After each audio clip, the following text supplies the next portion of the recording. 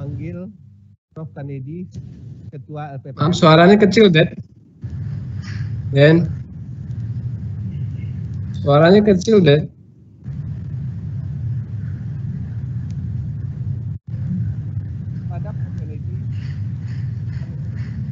Suaranya kecil sekali, Dad.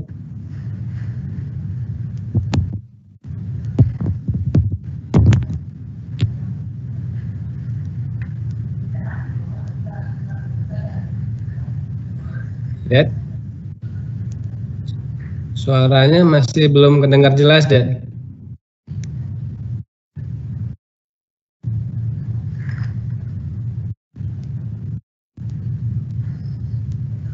Belum, Dad.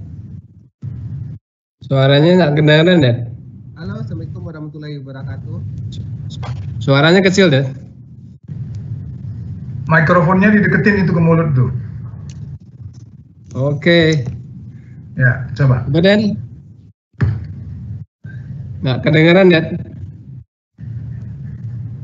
Ini udah, volumenya udah besar sekali nih. Saya nggak bisa dengar suara Mas Dedi ini. Suara Dedi nggak keluar itu. Iya.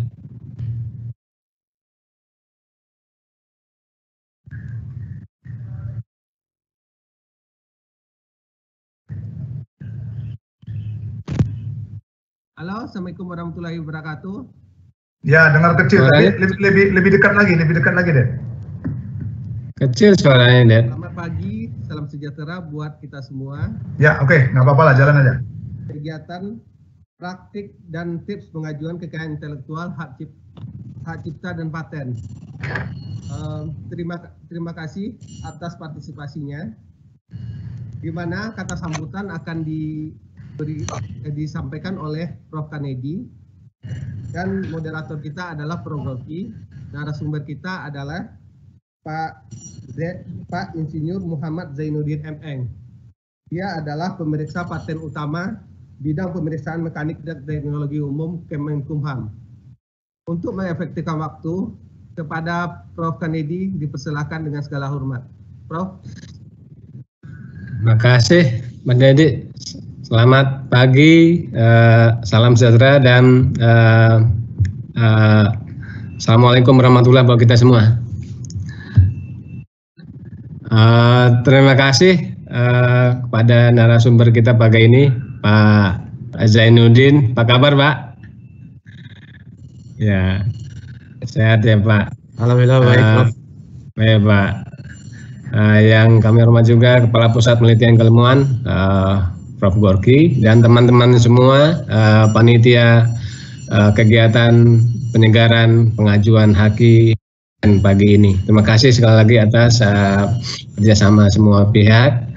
Eh, Pak Jen, terima kasih banyak atas waktunya eh, bisa berkunjung kembali secara virtual ke UT, Pak Jen. Ini memang udah kali keberapa kami coba menghadirkan teman-teman dari Menkumham terkait dengan pencerahan Pak Jen. Eh, Hal-hal yang terkait dengan pengajuan haki sampai ke paten. Eh, seperti yang kita tahu eh, di UT kita punya at least tiga kepentingan Pak Jen. Satu itu eh, terkait dengan eh, kinerja kita di kementeriannya. Kita di UT itu dinilai eh, kinerja eh, produktivitas haki kita oleh teman-teman dosen peneliti melalui penelitian uh, atau pengabdian kepada masyarakat. Dan ini memang uh, luaran wajib yang memang kita apa uh, tuntut ke teman-teman peneliti dosen gitu. Dan, ini juga akan dinilai uh, sebagai bagian dari kontrak rektor UT dengan uh, dua kementerian Pak Jin, uh, dengan Menteri Keuangan dan Menteri Pendidikan dan Kebudayaan. Jadi dari satu sisi kita mempunyai kepentingan produktivitas uh, haki paten kita dinilai Pak Jan di tingkat nasional.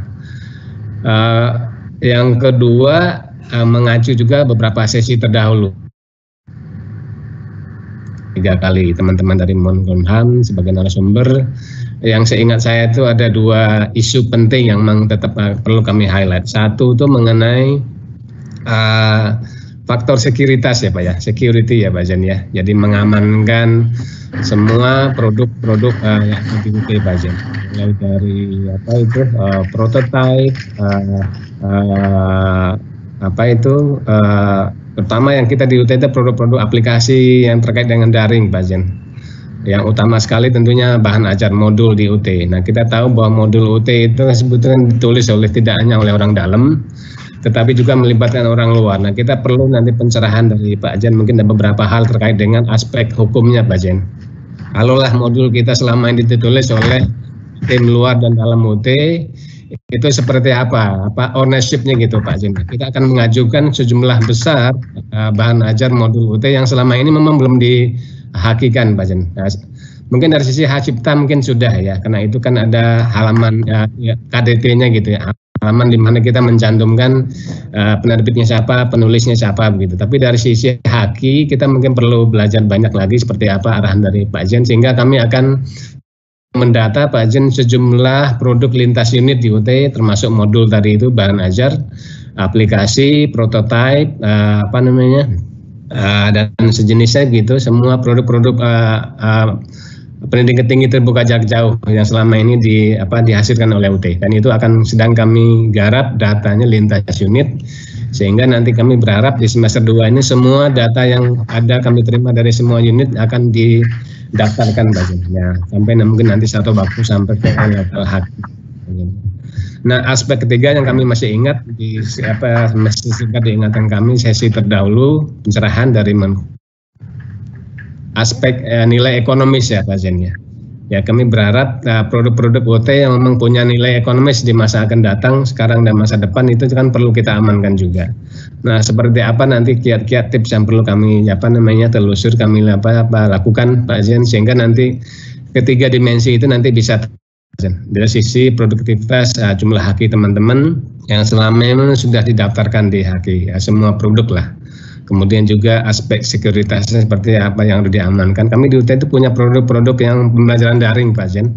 Aplikasi ujian, aplikasi produksi bahan ajar, aplikasi ya, semua produksi bahan ajar yang kita lakukan di UT itu sejauh ini belum semuanya dihakikan atau didaftarkan di daftar paten gitu.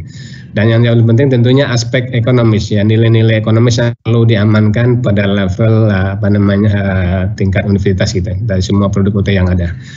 Uh, saya kira itu mungkin beberapa apa namanya agenda besar yang mungkin juga nanti akan ditambahkan oleh apa kepala pusat uh, Prof Hoki hal-hal yang mungkin perlu kita uh, cermati ke depan. Mudah-mudahan semester dua ini kita mesti punya waktu banyak cukup gitu untuk kemudian uh, mengerjakan ini semua. Saya kira sekedar pengantar awal uh, nah, garis besar seperti itu Pak Jen, Pak Oki, teman-teman semua. Uh, dengan berkenan Bapak Ibu semua kegiatan uh, workshop pencerahan pengajuan haki paten pagi ini kita buka secara resmi. Saya kira sekedar sambutan. Terima kasih Pak Jen, Pak Tulai wabarakatuh. Terima kasih Prof. Tanedi atas sambutannya.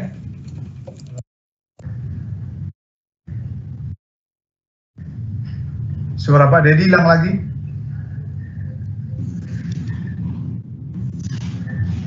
Terima kasih atas sambutannya Prof. Kanedi. Prof. Rocky dipersilakan untuk memoderatorin uh, acara ini. Baik, terima kasih Pak. Jadi teman-teman sekalian, uh, Assalamualaikum warahmatullahi wabarakatuh.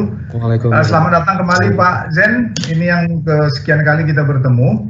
Ya, Prof. Rocky.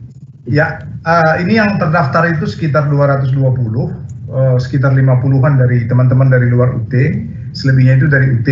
Memang hari ini ada beberapa kegiatan, tapi kami tadinya berharap itu jangan lebih 50 ya biar apa biar kalau mau diskusi itu uh, bisa langsung tapi kelihatannya karena hampir 200 nanti kita lihat lah apakah kita bisa uh, open mic kepada teman-teman yang lain uh, atau nanti memang Pak Dedi akan membatasi lewat chat kalau ada yang mau bertanya. Baik. Uh, Pak Zen uh, kali ini sebenarnya kan ada banyak ya kalau ala pendidikan tinggi, ala dikti atau ristek di kita lah zaman yang kemarin sampai yang sekarang itu kan kekayaan intelektual itu kan uh, ada yang menyebutnya sebagai paten, Ya. Ada yang uh, paten sederhana, kemudian ada hak cipta, merek dagang, rahasia dagang, uh, desain produk, uh, industri, indikasi geografis, perlindungan varietas tanaman, desain tata letak sirkuit terpadu. Kan cakupannya seperti begitu. Itu Untuk di bidang pendidikan yang kita cocokkan dengan yang ada di Ristek Dikti pada buku 12 yang lalu, edisi revisi 2019. Tapi di Oktober kemarin, di bulan Oktober kemarin kan uh, Kementerian Pendidikan, uh, sorry, Kementerian Ristek Dikti itu kan diktinya balik nih ke mana namanya ke ke Kemdikbud. Nah, jadi ah, ke, uh, Kemdikbud ya. Barangkali nanti Pak Zen itu uh, pasti punya lah ya, pasti punya informasi mana yang masih relevan, yang bisa kita pursue, nanti mana yang barangkali harus kita belakangkan, bukan di, tidak diurus ya. Nah, oleh sebab itu barangkali untuk tahap awal ini kekayaan intelektual yang mau kita bahas secara mendalam itu nanti adalah paten termasuk paten sederhana dengan uh, hak-hak cipta lain yang barangkali tidak terganggu dengan perpindahan dari Kemristek Dikti dengan BRIN yang sekarang yang tinggal risteknya dengan nanti yang ke UT yang kaitannya dengan uh, Kemendikbud yang diktinya sekarang ada di sini. Nah intinya itu kan begini ya uh, kita itu maunya punya sesuatu yang sesuatu itu nanti apakah kita catatkan atau kita patenkan kita tidak salah mengajukan itu yang pertama. Yang kedua juga punya uh, strategi atau cara sehingga selain tidak melanggar aturan juga efektif dia. Nah di pertemuan sesi kita yang lalu yang barangkali nanti juga satu bulan dari sekarang kita akan bicara lagi dengan Pak Zen uh, bagaimana uh, yang kita hasil hari ini nanti kita jalankan bulan depan kan nampak itu apakah nanti mulus setengah mulus atau barangkali ada yang sudah berubah Nah, okay. dalam dalam kesempatan ini kami tetap ingin Pak Jen itu memberi perspektif seluas-luasnya. Yeah. Apakah dengan Kemristek eh sorry Kemristek Bringnya yang sekarang dengan nanti Kemdikbud ini, tetapi untuk tahap yang ini supaya kita penyaman persepsi draft langkahnya itu agak agak sinergis begitu di dalam internalnya UT maupun teman-teman di luar UT. Mungkin kali ini kita uh, nanti Pak Zen itu membuat empasisnya itu pada eh, karya-karya uh, yang bisa dicatatkan selain dia efektif juga tidak melanggar aturan juga paten paten ini pun barangkali nanti konsentrasinya di paten sederhana dulu karena kalau paten yang itu kan menurut pengalaman Pak Jen dalam beberapa Januari lalu ya kita ketemu itu ya. itu kan apa ya perjuangannya panjang nah jangan-jangan waktu yang dibutuhkan untuk bersiap itu lebih panjang lagi nah padahal ini kan uh, kita dalam masa pandemi ini uh, meski pandemi kan nanti di Desember itu kita uh, report nah oleh sebab itu uh, dari waktu yang kita punya sampai dengan uh, mungkin sebelum jam 12 nanti kita akhiri, Pak Jen itu nyaman saja Pak. Kalau nanti Pak Jen itu merasa kurang yakin kita ngerti atau tidak, Pak Jen bisa bilang apa ada pertanyaan atau tidak, atau nanti chat dan sebagainya. Yang intinya itu adalah di akhir acara ini kita itu punya waktu dalam satu bulan menyiapkan diri. Nanti bulan depan kita akan undang lagi Pak Zen untuk melihat apakah we are on the right track atau ada yang harus kita tingkatkan. Nah, teman-teman sekalian, uh, ini pesertanya bukan hanya dari wilayah Jakarta atau UT Pondok Cabe, tapi juga ada yang dari uh, luar Pulau Jawa bahkan begitu dari beberapa teman kita. Mudah-mudahan ini bermanfaat. Dan Pak Zen, kami persilahkan Pak Zen dengan senyaman-nyamannya. Intinya adalah kita menjadi tahu persis supaya apa yang menjadi hak bisa kita ajukan di satu sisi, di sisi lain efektif, sehingga itu bermanfaat bukan bukan hanya bagi yang mengajukan tetapi juga bagi orang lain atau pihak lain yang bisa memanfaatkannya. Kami persilakan Pak Jan. Ya. Terima kasih Prof. Oki, Prof. Kanedi dan teman-teman. Keluar ya suara saya? Ya, Kedengaran? Ya. Oke, siap. Dengar, ya. Ya, Bismillahirrahmanirrahim. Assalamualaikum warahmatullahi wabarakatuh. Uh, selamat uh, siang. Ya, salam sejahtera bagi kita semua. Baik untuk uh, kesekian kalinya saya di apa uh, diberi kesempatan untuk memberikan semacam apa brainstorming sebenarnya uh, seperti yang diarahkan oleh Prof. Oki bahwa uh, dari sisi uh, UT sebenarnya apa sih yang memang bisa kita hasilkan di sini? Uh, karena kaitannya dengan uh, kepentingan dari Kemenristek juga ya bahwa sebenarnya kalau bilang perpindahan nggak terlalu banyak perpindahan. Intinya mereka ingin meminkan sesuatu luaran yang memang uh, hasil dari uh, lembaga pendidikan. Salah satunya adalah uh, baik itu di bidang hak cipta atau uh, di bidang uh, IP dalam artian uh, industrial property gitu ya. Uh, saya kalau kalau boleh saya ingin mem-sharing sebuah apa uh, PowerPoint misalnya begitu uh, saya saya saya berharap bahwa Sepertinya ini sudah pernah, tapi saya ingin tadi seperti uh, Prof. katakan ada highlight di beberapa tempat, empasisnya di mana sih, sehingga mulai uh, apa terwujud nanti uh, bagian mana sih dari haki itu kan banyak apa bidangnya gitu ya. Nanti bagian mana dari haki yang uh, kita akan uh, bisa uh, wujudkan di uh, UT ini. Saya mencoba judulnya mungkin strategi saja ya, strategi memperoleh haki. Meskipun sebenarnya kita bicara bukan HKI tapi mestinya KI saja, tapi karena di luar sana masih berbicara masalah haki. Ini kelihatan ya. Oh.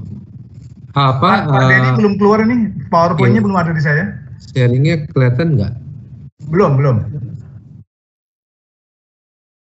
Mungkin belum di double klik lagi tadi ya di filenya. Bentar. Oke. Share.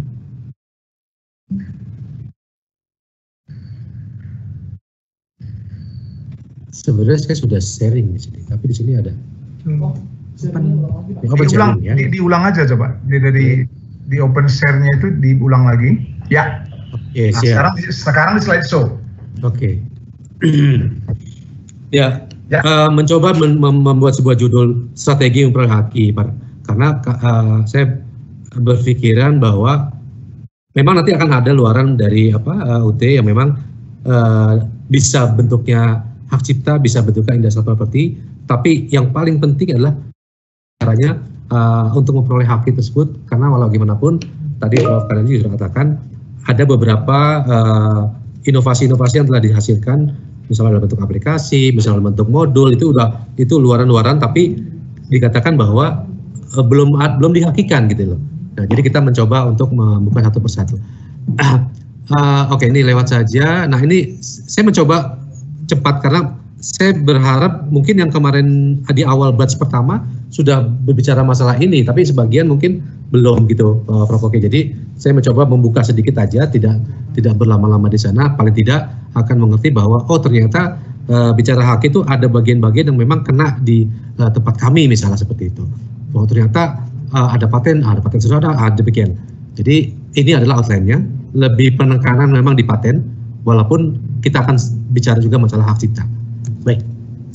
Uh, kemarin juga saya sudah sebutkan uh, di batch pertama bahwa faktanya demikian Bapak Ibu ya, bahwa negara yang memiliki sumber daya alam tidak harus hebat, gitu. Ternyata terbukti uh, contoh negara tetangga kita adalah Singapura, secara alam mungkin dia tidak memiliki banyak ya, tapi secara manusia dia memiliki banyak. Ya. Artinya dia bisa membuat sesuatu dari olah pikir manusia menciptakan sesuatu yang memang mirip-mirip menjadi alam contohnya. Sehingga menjadi tanda kutip adalah value-nya uang gitu. jadi yang menjadi poinnya dari uh, bicara saya di saat ini adalah tidak harus hebat yang punya sumber daya alam tapi ketika mempunyai sumber daya manusia yang hebat luar biasa nantinya. Itu poinnya. Nah secara uh, global competitive index ya uh, ternyata kita tidak harus berbangga-bangga juga. Yang paling penting di kita hanya di poin 10 yaitu market size. Ya. Marketnya Indonesia itu besar sekali. Gitu. Tidak tidak heran bahwa negara-negara maju ingin menjual segala barang-barang atau produknya ke kita karena kita paling luar biasa secara market. Gitu. Makanya tidak aneh juga bahwa uh, paten-patennya dari luar negeri bisa dikatakan mencapai 90% ke atas. Gitu. Kalah domestiknya. Karena menganggap bahwa apa marketnya besar.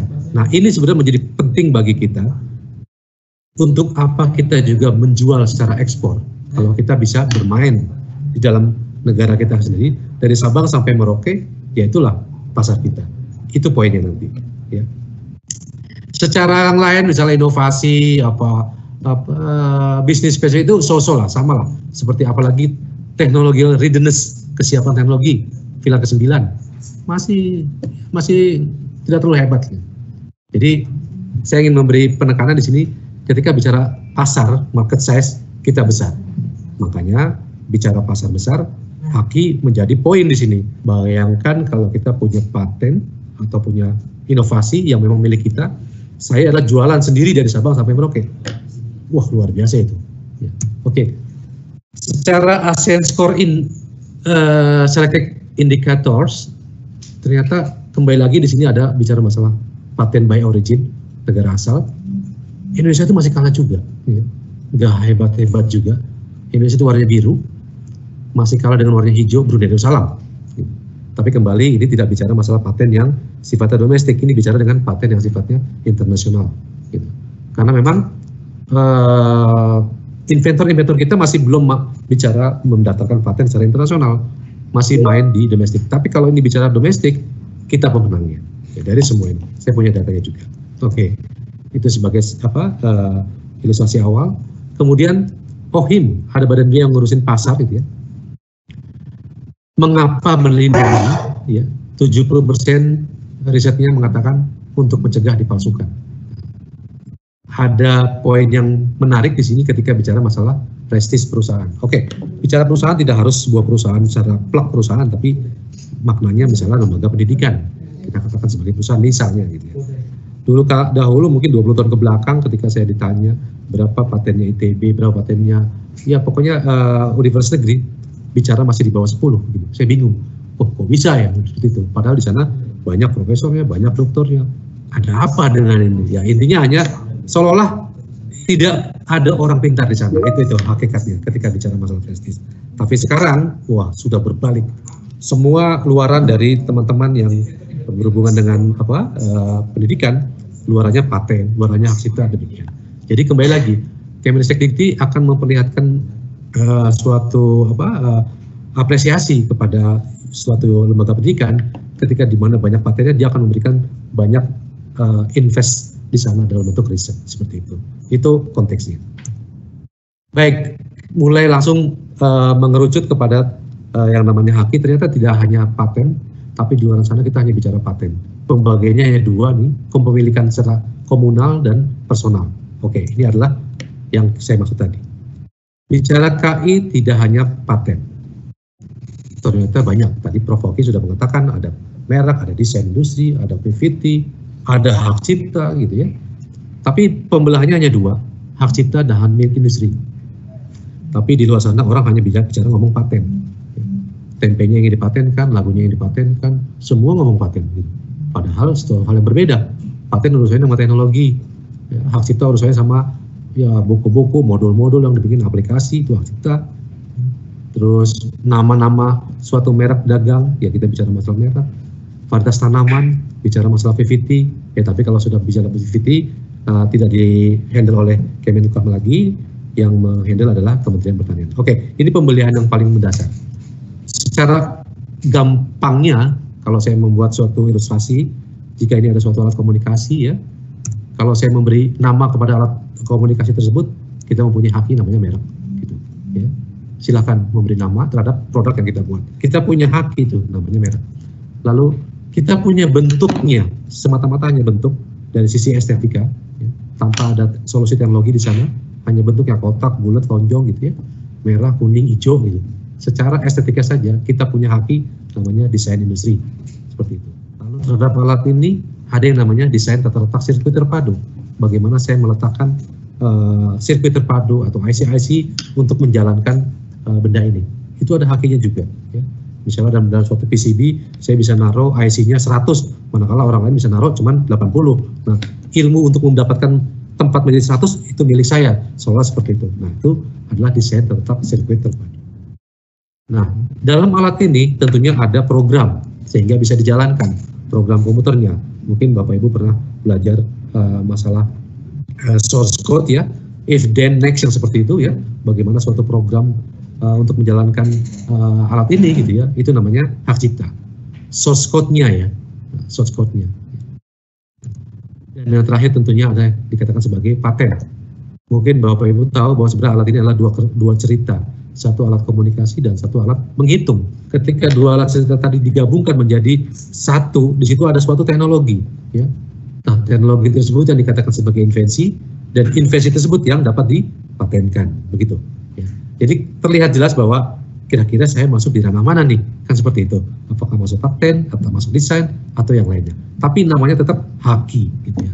Hak kekayaan intelektual.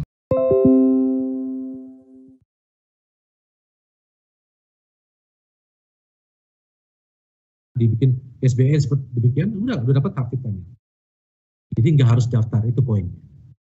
Dia juga tidak ada yang namanya sertifikat hak cipta, nggak ada. Yang adalah pencatatan, bukti pencatatan itu cepat sekali. Mungkin dua hari langsung atau sehari dua hari sudah bisa kita print sendiri. Tapi yang lainnya sifatnya konstitutif pendaftaran. Jadi kita bisa lihat sendiri di sini. Oke, kita lihat Ini poin-poin dari yang namanya hak cipta. Kalau tadi Prof. Oke bilang mungkin hak cipta apa saja, ya ini. Di bidang seni, melukis, bidang sastra, ilmu pengetahuan, alat peraga, modul-modul. Ya. Bagaimana saya melakukan suatu kegiatan di stage gitu ya. Bagaimana saya membuat apa uh, dancing gitu ya. Yaitu salah satu bagian dari hak cipta. Lalu ada yang namanya desain industri. Nah ini bisa, bisa dibedakan. Kalau yang tengah itu warnanya banyak kuning dan merah. Ya. Bendanya sama, tapi kemudian saya buat warna biru. Saya buat, warna ungu. Saya telah merubah desainnya. Nggak ada te solusi teknologi di sini, hanya semata-mata uh, masalah estetika saja. Berarti saya membuat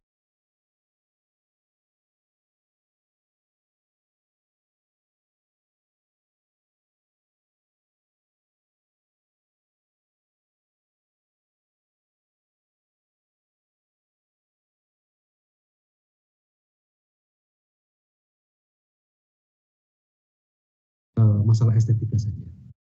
Berarti saya mempunyai desain yang baru. Nah, itu yang dikatakan sebagai happy design industry. Masih kedengar ya suara saya? Hmm.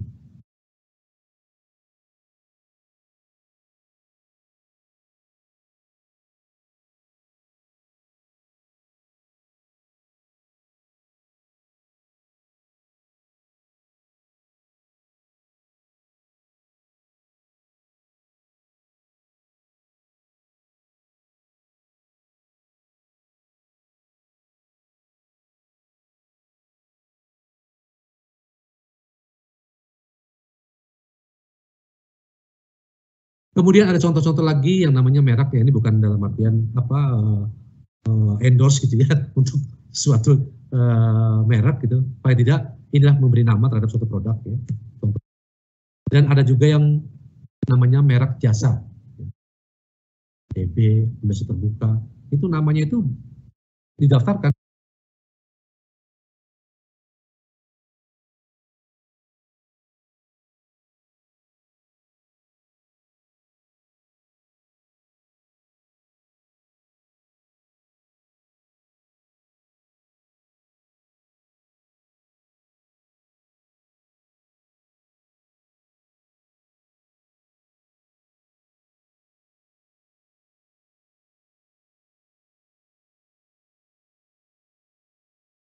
gitu ya terhadap merek jasa. Lalu nanti kita akan mengenal juga yang namanya dis, uh, geographical indication, indikasi geografis. Ini bagian dari merek. Kita sedang menggalakkan ini, ya. Jadi produk-produk dalam negeri kita yang memang produk alam terutama ya, yang memang mencirikan daerah tersebut. Kita sedang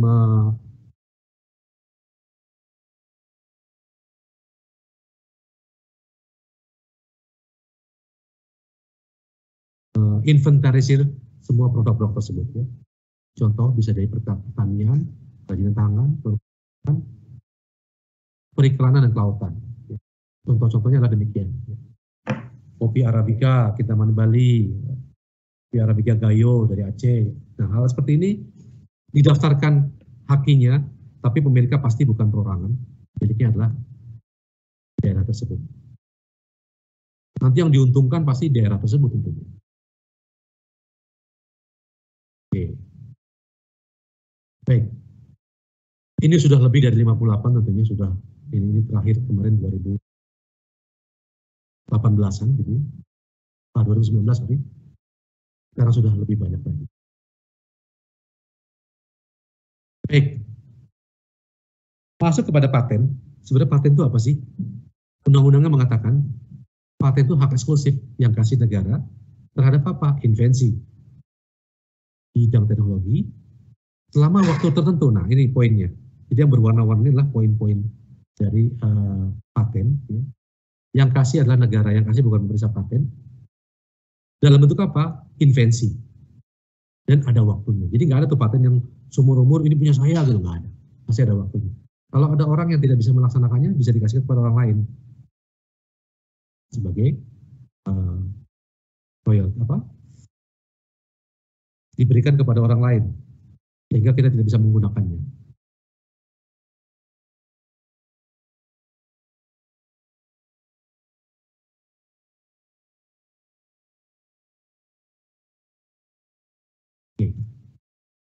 Lalu invensi itu apa? Nah ini, ide inventor yang dituangkan dalam suatu kegiatan pemecahan masalah spesifik di bidang teknologi. Baru ide, jadi jangan khawatir dengan sesuatu yang sifatnya, Pak saya belum jadi barangnya.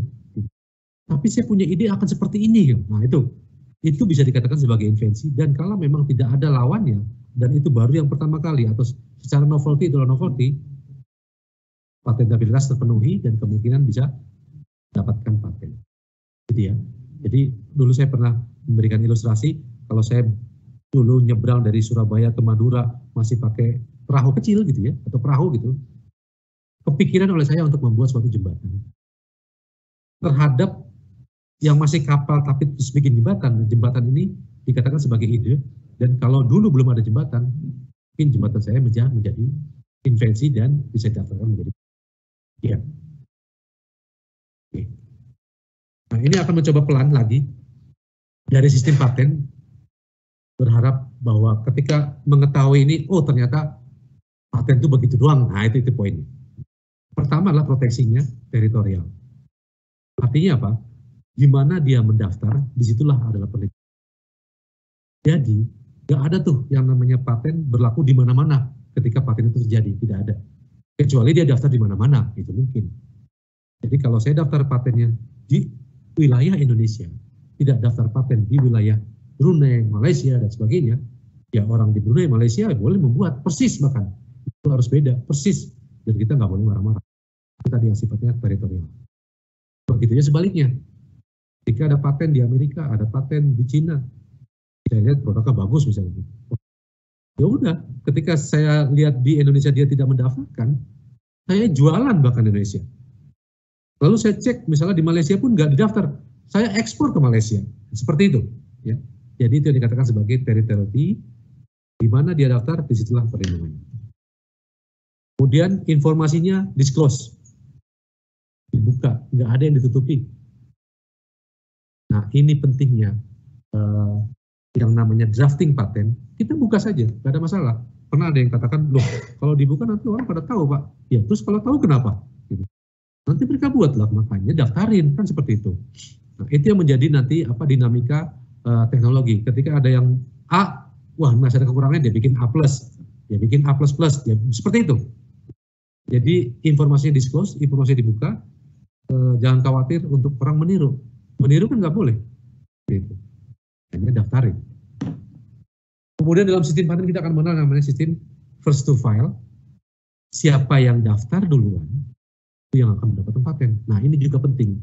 Kita selalu membangga-banggakan kalau membuat, ya maaf, jurnal khususnya untuk apa eh, inovasi-inovasi uh, yang sifatnya apply teknologi ya, teknologi-teknologi terapan. Hati-hati karena kalau saya bikin jurnal, kemudian bikin conference, misalnya hasil yang saya buat tadi bisa jadi suatu produk yang jadi duit, yang keburu orang yang daftarin.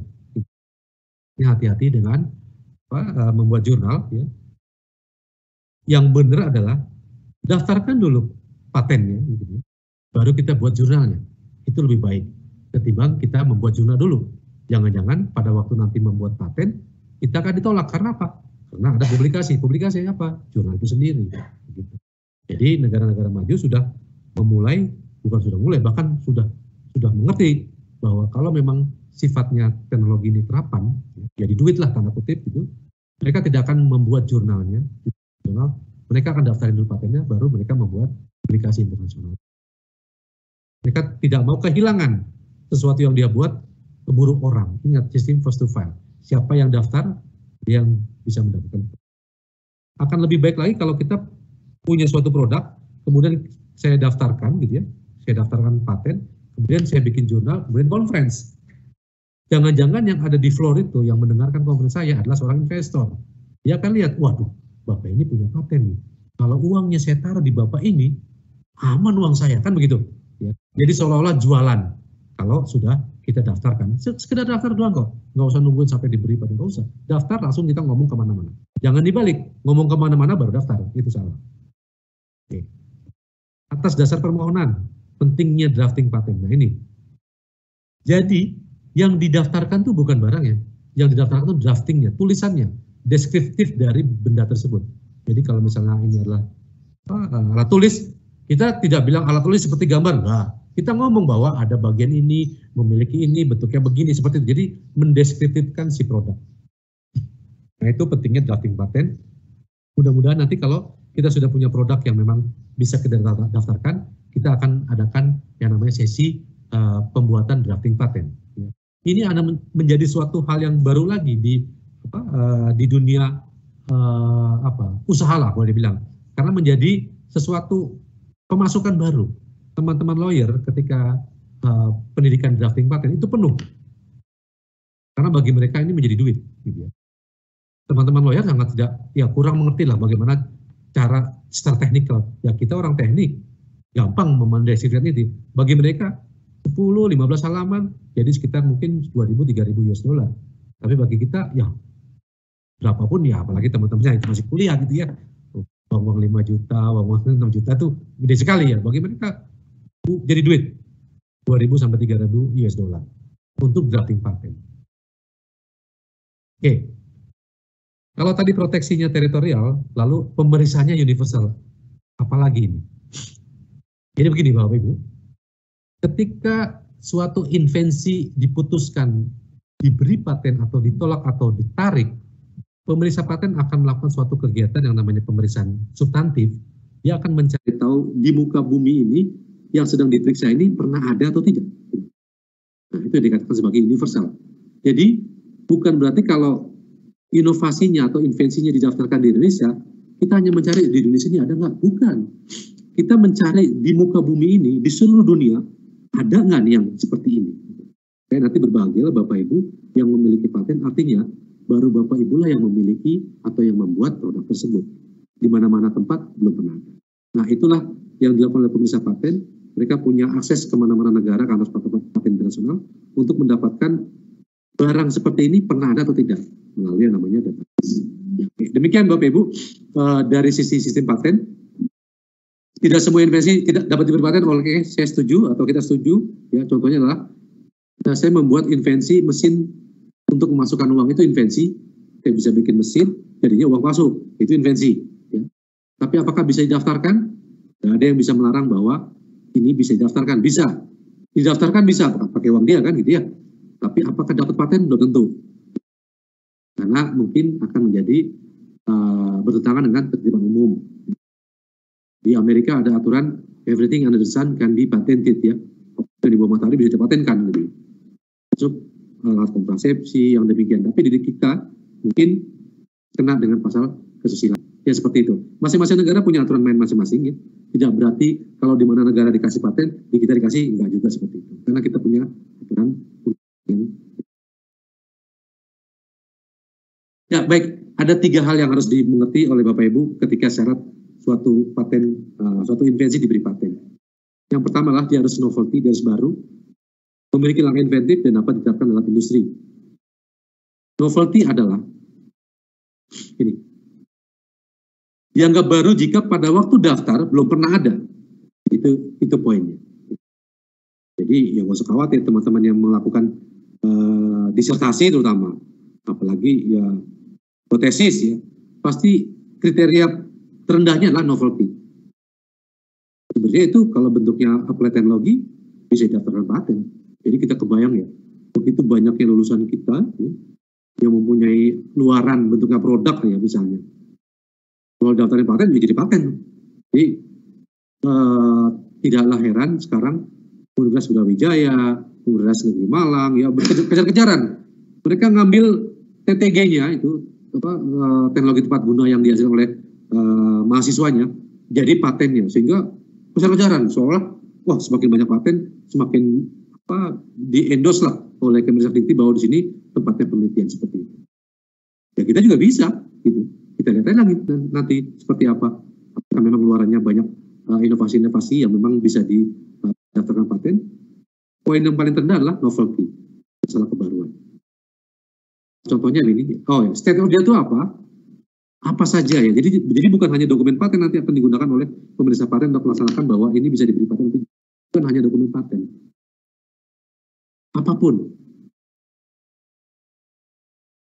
Everything made available to public by means of semua ini ya or any other way before the filing date sebelum tanggal pendaftaran. Jadi bukan hanya dokumen paten. Oke contoh ya, kalau saya daftar di apa uh, tanggal satu bulan tahun di sini ya, artinya semua yang di belakang ini, semua yang di belakang ini merah ini dikatakan sebagai dokumen pembanding yang saya buat untuk uh, mengatakan bahwa ini pernah ada atau tidak. Itu poinnya. Nah ini dikatakan sebagai novelty. Atau ini contoh saja ya, kalau kembali contohnya, saya punya alat tulis gitu ya, kemudian alat tulis saya, uh, karena tangan saya berkeringat, kemudian saya buatlah nomor 4 ini, supaya anti licin lah, misalnya seperti itu. Konsep atau ide membuat sarana anti licin itu ide saya, tapi saya tidak harus bilang bahwa ini karet. Nomor empat ini adalah apa? Kain, bukan. Atau saya bilang dalam klaimnya sepertiga dari ujung ada anti licin. Enggak, saya ngomong gitu. Karena saya punya hanya punya ide gimana supaya nggak licin ya. Jadi nanti klaimnya nggak akan bilang seperti itu. Karena klaimnya hanya bilang pada bagian bodinya terdapat sarana anti licin. Siapa pun yang bikin ujung, di tengah, di atas, ya nggak boleh. Nah itu yang dikatakan tadi sebagai yang namanya ide. Lalu memiliki langkah inventif Bapak Ibu. Langkah inventif itu apa? Jika invensi tersebut bagi orang yang ahli di bidangnya tidak dapat diduga sebelumnya, non obvious, tidak dapat diduga. Ini gimana lagi nih? Jadi begini, kalau saya punya produk, saya daftarkan tanggal 1 bulan 1 tahun 2001, kemudian diperiksa oleh pemeriksa paten tahun 2003 misalnya. Pemeriksa paten tidak boleh menilai ini pada tahun 2003. Seolah-olah, ah begitu doang, di tahun 2003 tentunya. Pemeriksa paten harus memposisikan diri dia pada tahun 2001, kepikiran nggak bikin begini. Gitu. Itu yang dikatakan sebagai office. Terduga atau tidak terduga.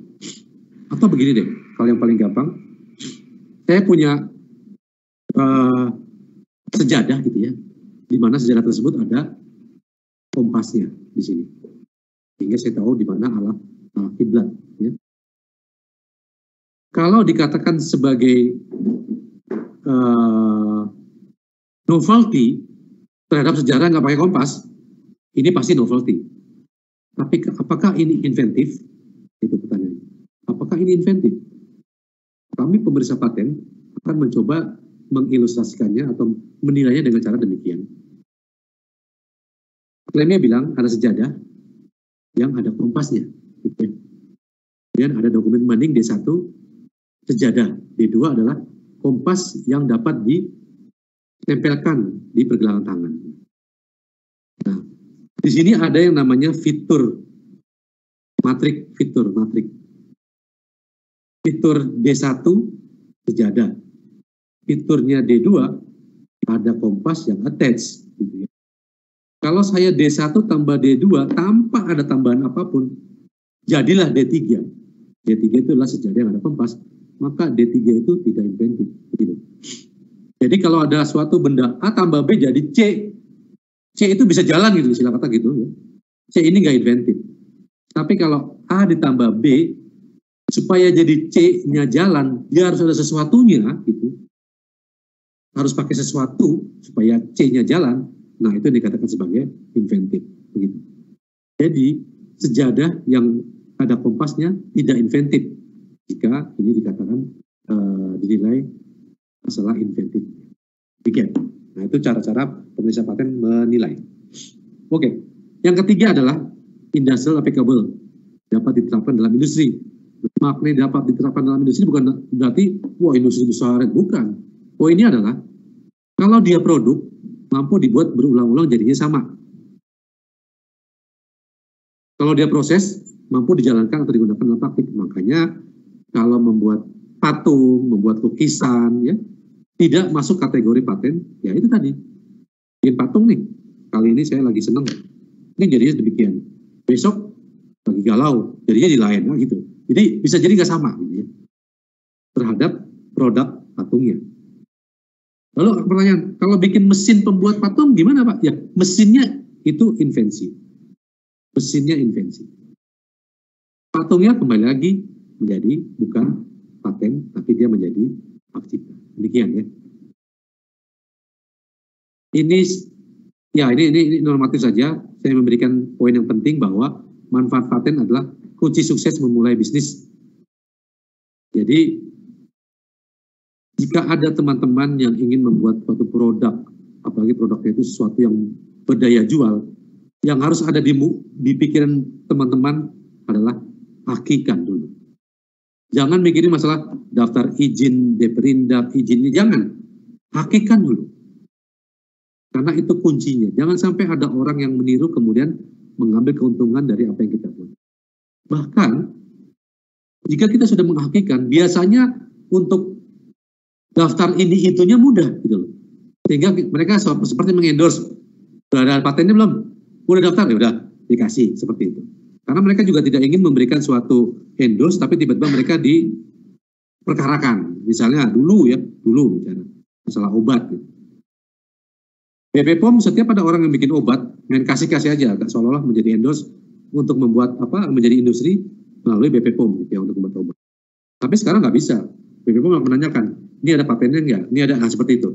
Karena mereka takut juga kalau mengasih endorse seperti itu tiba-tiba BP POM digugat seolah memberi izin kepada sesuatu yang memang bukan atau tidak boleh diizinkan seperti itu. Manfaat paten dapat dilihat dari yang namanya informasi paten, ya ada dokumen paten di sana, ada informasi teknis dan ada informasi masalah hukum, itu yang namanya klaim. E, karakteristiknya, oke, okay, ini sama halnya seperti kalau saya membuat publikasi atau jurnal internasional ya, standar. Jadi tidak terdapat di publikasi lain, ini. Seolah-olah publikasi internasional atau jurnal internasional itu adalah dewa. Jadi dia yang paling dahulu, paling dahulu ada. Oh ternyata enggak juga. Bagi negara-negara maju, paten itu lebih dulu daripada jurnal internasional. Jadi mudah-mudahan sering-sering buka dokumen paten, gitu ya, kita akan mendapat pencerahan. Oh ada barang seperti ini loh, baru kita membuat risetnya awalnya seperti itu. Karena bagi mereka jangan sampai produk yang mereka buat tiba-tiba menjadi tidak membeli haki sehingga tidak menjadi tanda kutip value uang di. Tidak rahasia, ini penting, tidak rahasia, dibuka kok. Metode pembuatan nasi goreng kalau kita lakukan di sisi dokumen tersebut kita lakukan langkah-langkah jadi nasi goreng pasti. Nggak mungkin jadi nasi uduk gitu loh istilahnya. Oke. Ini adalah contoh saja yang namanya dokumen paten from Vetsia. Ada suatu alat e, kipas angin gitu ya. Kalau teman-teman teknis melihat begini tanpa harus baca pun ya dokumen lengkapnya bisa mengerti gitu. Jadi, intinya adalah ini kipas angin ya. Kalau saya malam-malam saya gunakan di kamar gitu, saya matikan lampu. Dan saya nyalain kipas angin ini. Pada malam hari tentunya di sini yang nomor 8 akan mengeluarkan cahaya gitu. Sehingga serangga atau nyamuk datang. Dia akan datang gitu ya. Karena ini berputar tersedot mati kepada ram yang namanya nomor 9 bayang ya sudah di dalam ruangan dingin karena ada angin nggak ada nyamuk. Lalu ya kelihatannya ini nggak portable kurang asik kalau bawa-bawa seperti ini sehingga dibuatlah menjadi portable yang bentuknya kotak nah hal demikian yang dikatakan sebagai uh, apa awalan atau ilustrasi awal untuk teman-teman teknis membuat sesuatu. Makanya kalau sering-sering buka dokumen paten, ide-ide itu akan muncul deras. Seperti deras. Ini juga contoh, uh, selevel Michael Jackson pun punya paten ya. Dulu kita bingung bahwa dia bisa miring gitu. Ya amat nih orang gitu ya. Ternyata sepatunya ya. Sepatunya bisa untuk mengait sehingga dia bisa miring. Judulnya adalah Methods and Means for Creating Anti-Gravity Illusion. Mentornya Michael Jackson. Oke. Bidang teknologi dapat dipatenkan, ada yang namanya klasifikasi internasional. Jadi kalau mau saya ibaratkan from head to toe, semua bisa kita patenkan. Gitu ya. Dan bentuknya dasar manusia, transport, metalurgi. saya main di A, B, C-nya metalurgi, kemudian E, fixed construction, mechanical engineering juga. Gitu. Dan informasi tersebut dapat diperoleh karena sekarang sudah zaman internet ya. bisa melalui internet searching, ada yang berbayar tentunya, tapi ada juga yang gratis, ya, berbayar. Ini adalah laman-laman yang biasa digunakan oleh eh, teman-teman uh, inventor atau teman-teman inovator, bahkan pemeriksa paten menggunakan laman-laman ini untuk mendapatkan informasi paten. Eropa, kantor Amerika, atau bisa melalui Google. Ya. Inilah lamannya dari Dijen KI, Direktur Jenderal Kekayaan Intelektual. Nanti kita bisa masuk ke namanya e-penelusuran gitu ya, e-penelusuran. Ini nanti ada paten, merek, desain, dan sebagainya. Nah, silakan masukkan keywordnya dalam bahasa Indonesia. Nah, contoh, zaman sepeda misalnya sepeda listrik. Kita akan bisa mendapatkan dokumen-dokumen yang berhubungan dengan sepeda listrik. Ini, ini sudah publikasi, semua orang sudah boleh lihat. Ya. Kalau dia tidak ada patennya, artinya kan bisa saja publikasi, tapi patennya sudah habis gitu ya. Nah, kita bisa buat. Buat persis, tanpa harus ada improvement di sana. Ini adalah kantor paten Eropa, ya. teman-teman dari kedokteran mungkin bisa melihat misalnya stem cell gigi seperti apa yang paling terkini. Itu banyak dokumen-dokumen yang berhubungan dengan stem cell gigi. Nah, asiknya uh, searching atau melakukan penelusuran dengan uh, mesin engine di paten adalah demikian. Semuanya free, gitu loh. Beda kalau kita menggunakan misalnya send atau apa pun. Memang kalau untuk yang sudah berlangganan tidak free. Tapi kadang-kadang yang memang sifatnya uh, apply teknologi ya, itu menjadi berbayar gitu. Kalau teman-teman di apa uh, publikasi internasional gitu. Jadi kalau ini nggak free, kita bisa dapatkan PDF-nya free. Ini kantor paten uh, Amerika ya. Ada boolean di sana, bisa and or dan sebagainya. Ini kantor paten uh, bukan kantor paten ini badan dunia yang ngurusin haki. WIPO World Intellectual Property Organization sama ya kita bisa melakukan penelusuran. Kita akan banyakkan nanti diskusinya tentunya seperti itu. Ini kan uh, bisa menggunakan Google ya.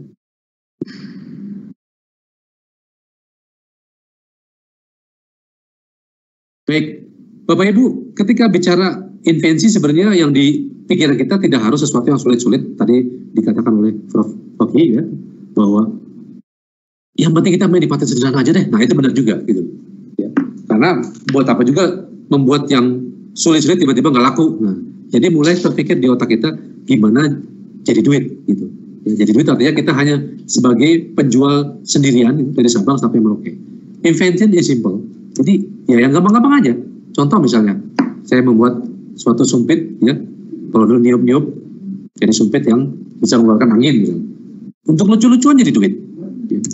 Atau ini ya, supaya nggak datang ke mana-mana gitu. Atau ini membuat suatu mug yang bisa taruh cookies gitu.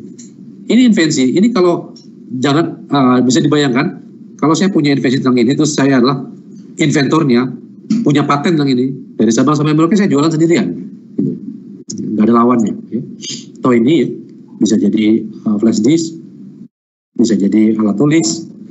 Atau ini juga ya, untuk menutupi supaya uh, adik tidak apa uh, kena sabun gitu ya. Ini juga invensi memecahkan masalah di bidang teknologi. Ini ya. Ini invensi. Ini juga invensi ya untuk mencegah seseorang untuk tidak uh, palanya ke mana-mana. Biasanya kalau di kereta nih biasanya ya. Lucu-lucuan juga gitu ya. tapi ini invensi ini ada patennya nih ya bowlnya atau mangkoknya bisa taruh uh, iPad. Ya. Kita mencoba apa me, apa membrainstorming pikiran Bapak Ibu bahwa ternyata membuat suatu invensi itu nggak harus yang sulit. Yang penting gimana supaya saya bisa jualan dan jualan sendirian gitu. Ya. Ini juga bisa jadi keset ya, bisa jadi pel gitu. Pel kalau ngelipet bisa sekali 100 per wah, melipat ya, kursi lipatnya itu nah ini juga yang birunya ini yang hijaunya inilah invensinya sehingga si liquidnya tidak beririkan ke mana-mana gitu ya fokus. Ini untuk alat motong buah gitu. Sehingga seragam. Ini juga invensi. Sorry, juga invensi ya, invensi baru. Sepatunya bisa ngecas, ngecas HP gitu ya. Itu juga invensi. Jadi nggak harus yang sulit. Ya, kita ini mencoba me, apa, mengilustrasikan produk-produk yang memang bisa menjadi uh, value ya, value dalam penting uang. Ini ya, teknik pens. Jadi kalau dia pergi uh, piknik itu lupa bawa tatakan, jadi tatakan nih, gitu ya. Ini juga invensi. Oke, banyak ya. Mungkin saya juga belum pernah lihat nih bisa buka botol nih si casingnya HP nih. Boleh juga nih. Ya. Oke. ya. Tasnya bisa naruh bayi. Jangan-jangan bayinya di dalam nih. Dilipat. Oke. Ini juga tas bisa di tempat duduk. Payungnya bisa kelihatan ya buat lucu-lucuan. Beda bisa potong rumput. Bahkan waktu itu di Tangerang ada adik-adik kita ya, yang kebetulan waktu itu saya menjadi juri nasional LPIR, sekarang bukan LPIR lagi. Salah satunya adalah membuat sepatu yang bisa berubah hitam dan putih. Misalnya ada dalam rangka mendidik, Senin Rabu pakai putih, Selasa Kamis pakai hitam gitu. Karena sulit-sulit gitu ya akhirnya sepatu bisa jadi hitam, bisa jadi putih. Jadi sekali pergi ya tinggal hari ini pakainya apa gitu. Jangan-jangan ntar orang berpikir plat nomor bisa ganjil genap lagi kan gitu ya. Oke, kayak ini juga uh, dari sisi material tentunya ini lebih sedikit ya. Dari sisi material konsekuensinya pasti lebih murah. Pasti lebih murah. Tapi kalau lihat dari solusinya tidak hanya semata-mata lebih murah di sana.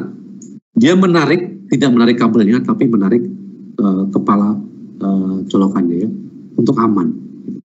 Kalau saja harganya sama, sama yang biasa, pasti orang belinya yang ini. Nah inilah yang dikatakan sebagai ya, invensi, bicara masalah di teknologi. Baik, paten dalam hubungan kerja, pemilik paten adalah orang yang melihat pekerjaan kecuali diperjanjikan lain. Jadi gini, kalau saya adalah mahasiswa atau dosen dari IT, ya, kemudian diberi pekerjaan oleh UT untuk melakukan suatu riset, menggunakan sarana UT, kalau nanti jadi paten misalnya, jadi invensi jadi paten, pemiliknya siapa? Pemiliknya bukan saya. Pemiliknya adalah UT. Terus saya jadi apa? Saya adalah inventornya. Terus saya dapat apa? Ya, antara saya dengan UT ada yang namanya royalty. Silahkan pembagiannya. Saran saya ya dibesarkan kepada uh, inventornya. Misalnya 60-40, 70-30, ya. 70 buat inventornya. Tentunya harus juga ada uang yang masuk kepada sentra hakinya, ya itu tadi untuk pengembangan, untuk dan sebagainya lah. Ya, nggak nggak nggak semua mua masuk kepada uh, inventor, itu maksudnya. Inventor berhak mendapatkan imbalan yang layak. Oke, ini adalah flowchartnya dari kita mendaftarkan KI, khususnya paten, ya, khususnya paten. Yang paling penting di sini adalah ketika bicara pemohon membuat aplikasi aplikasinya dalam bentuk apa? Ya itu dikatakan sebagai drafting. Nah, sekarang tidak ada lagi yang namanya loket datang ke DJKI, semua serba online. Ya. DJKI semua melayani online. DJKI nggak ada lagi melayani yang sifatnya loket. Makanya tidak aneh kalau sekarang teman-teman pemerintah WFH terus. Gitu. Bahkan kita punya apa moto bukan aja hanya work from home, work from anywhere everywhere. Jadi di mana pun kita bekerja sekarang, ya, terutama pengusaha paten, karena semua sifatnya tidak ada lagi kita bermain dengan kertas, kita bermain dengan database. Dan untuk masyarakatnya pun tidak perlu lagi harus datang jauh-jauh gitu Kemenkumham, semua serba online, mudah. Oke. Yang ini adalah semacam flowchart saja. Poinnya bukan sampai kita mengerti semua, poinnya adalah nanti di aplikasi kita akan membuat drafting paten. Baik. Nah ini Bapak Ibu yang ingin saya sedikit apa uh, ceritakan atau saya jelaskan bahwa sebenarnya punya paten itu worth it nggak sih? Ini adalah timeline terhadap uh, aplikasi paten yang pelindungannya 20 tahun. Pelindungan paten ada yang 10 tahun, makanya di sini sana ada yang namanya paten sederhana dan paten biasa. Paten sederhana pelindungannya 10 tahun, paten uh, biasa pelindungannya 20 tahun. Lalu worth it nggak kalau ngelihat flowchartnya uh, diagram apa time-nya seperti ini, ya, timeline-nya seperti ini. Ya. Dari mulai daftar sampai keputusan, paling tidak dibutuhkan waktu more or less 54 bulan. Hampir lima tahun. Wah, sudah mulai pusing. Terus di mana untungnya punya paten kalau lima tahun? Baik, Bapak Ibu, ketika saya tanyakan kepada teman-teman apa sih yang ada dalam pikiran Bapak Ibu ketika bicara, ah lah nggak perlu lah punya paten lama banget, harus lima tahun. Semua sama. Pertanyaannya satu, kapan bisa jualan kalau lama begitu? Kapan bisa eksploitasi kalau lamanya seperti itu? Oh, jadi hanya itu yang dipikirkan. Oke. Okay. Saya mencoba, ini kira-kira kalau saya kasih tanda-tanda ini kelihatan nggak? Kelihatan nggak? Nggak, maksudnya pointer saya bergerak-gerak ini kelihatan nggak? Ya, nampak, nampak Pak, silakan. Kelihatan. Ya, misalnya di sini, di filing date, saya telah punya drafting patennya, kemudian saya daftarkan secara online lagi, online. Lebih murah bayar online daripada bayar yang melalui loket, tapi sekarang loket sudah nggak ada. Tanggal 1 bulan 1 tahun 2001 saya daftar nih. Sejak tanggal 1 itulah saya dapat yang namanya nomor pendaftaran. Ya. Jadi nggak ada tuh daftar sekarang, besok nomornya nggak ada. Pada tanggal itulah kita dapat nomor pendaftaran, tanggal 1. Lalu apa yang harus saya lakukan? Misalnya, besoknya tanggal 2, saya mulai eksploitasi, saya mulai jualan. Nggak ada yang bisa melarang saya untuk saya nggak boleh jualan. Artinya, per tanggal 2 saya boleh jualan. Terus, masalahnya di mana dengan harus nunggu lima tahun? Nggak ada. Jadi ya, per tanggal 2 tersebut kita sudah bisa melakukan sesuatu, bisa mulai jualan. Per tanggal 2. Misalnya, ceritanya berlanjut, per tanggal 3 ada teman atau tetangga gitu ngelihat wah Pak Zen jualan produk nih. Ikutan jualan per tanggal 3 kira-kira boleh gak? pasti jawabannya hanya dua juga. Ada yang bilang boleh ada yang enggak yang bilang nggak boleh ya tentu merasa bahwa ada yang Pak Zen sudah daftar. Yang bilang boleh lah kan baru daftar kan begitu. Ya makanya ya dua-dua masuk akal. Oke silakan. Anda jualan gitu Lalu apa yang harus saya lakukan? Ya sudah, karena saya sudah daftar, saya buat surat per tanggal 4. Suratnya bilang, Mas, tolong ya, saya sudah daftar ini paten nih per tanggal 1. Kemungkinannya pun hanya dua. Dia berhenti untuk jualan karena ketakutan, atau dia merasa, ah, baru daftar ini, ya. Ya sudah, masing-masing jualan, saya jualan per tanggal 2, tetangga saya jualan tanggal 3. Nah, yang penting dia sudah pegang sudah tahu bahwa oh Pak Jen sudah pernah daftar dari surat yang saya kasih di tanggal 4. Oke. Semua hal ini sama Bapak Ibu, 18 bulan, 6 bulan, ini semua sama, bukan hanya Indonesia yang melakukan seperti ini, semua sama untuk kategori yang 20 tahun tadi. Tapi yang 18 bulan ini bisa kita potong dengan membayar yang namanya percepatan publikasi. Jadi saya nggak harus tunggu 18 bulan untuk dipublikasi. Ketika 6 bulan, kemudian saya bayar 200 ribu kalau nggak salah, enam bulan yang ini tidak boleh dipotong karena ini milik masyarakat. Ya ini milik masyarakat nggak bisa dipotong. Jadi setahun aja sudah bisa mulai diperiksa. Nah masa pemeriksaan ini adalah selama lamanya 30 bulan. Selama lamanya loh ya. bukan berarti harus 30 bulan kan begitu? Undang-undangnya demikian. Misalnya pada bulan ke-10 atau anggaplah bulan ke-1 lah maksudnya jauh-jauh bulan ke-1 diperiksa oleh pemeriksa paten dan pemeriksa paten memutuskan bahwa yang didaftarkan oleh pasien di sini belum pernah ada sebelumnya. Karena belum pernah ada sebelumnya, makanya invensi pasien diberi paten atau di granted istilahnya. Ketika tanggal 10 uh, ah, bulan ke-10 atau bulan ke-1 di sini di granted. Nah, pelindungan paten adalah bukan pada waktu diberi paten, tapi perlindungan paten adalah sejak filing date, sejak daftar. Jadi meskipun diberi patennya di sini gitu ya, tapi perlindungannya adalah di sini. sejak tanggal 1 bulan 1 tahun 2001. Kebayang ya? Misalnya produk yang saya buat tadi atau invensi yang saya buat tadi diberi paten pada tanggal 1 adalah pelindungannya. Ya berarti tetangga saya yang membuat tanggal 3 mestinya tidak boleh dong. Kan gitu. Nah sejak tanggal 3 inilah saya bisa melakukan apa pun langkah-langkah hukum terhadap tetangga saya yang melaksanakan tadi yang di tanggal 3. Jadi kembali lagi, poinnya adalah paten itu worth it. Jangan menunda-nunda jika punya inovasi, punya invensi, daftarkan, ya, kemudian buat yang banyak, kemudian jualan seperti itu. Usah nungguin sampai ini punya sertifikat, punya apa, punya uh, paten, nggak usah. Yang penting daftar itu yang paling penting. Sistem versus file berlaku.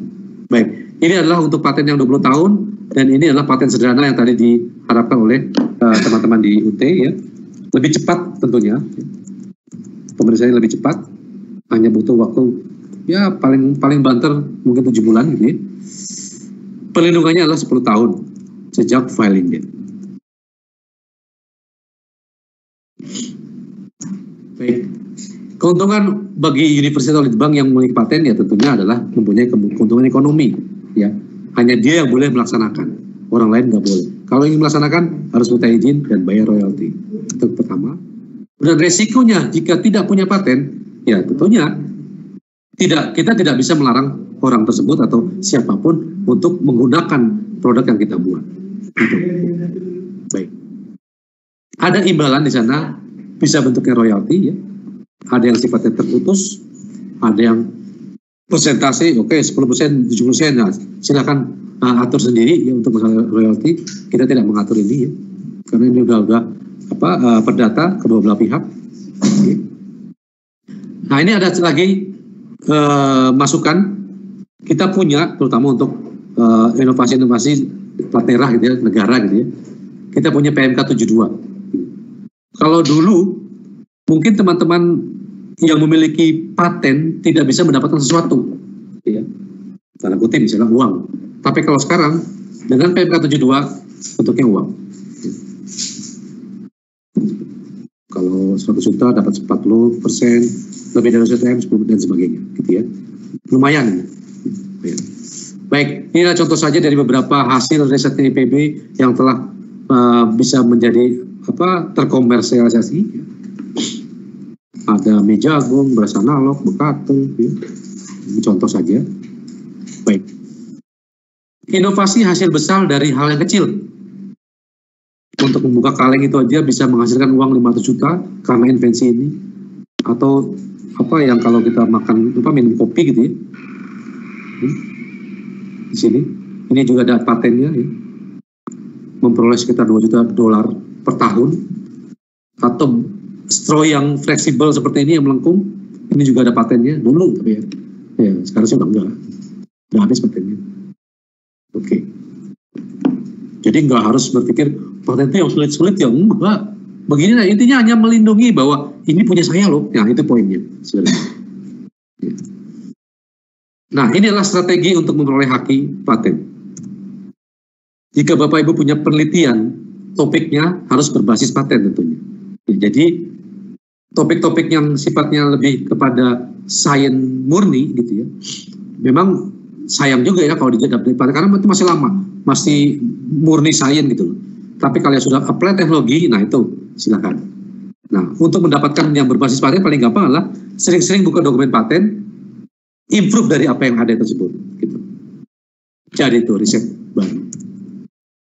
Nah, tidak mempublikasikan sebelum daftar paten.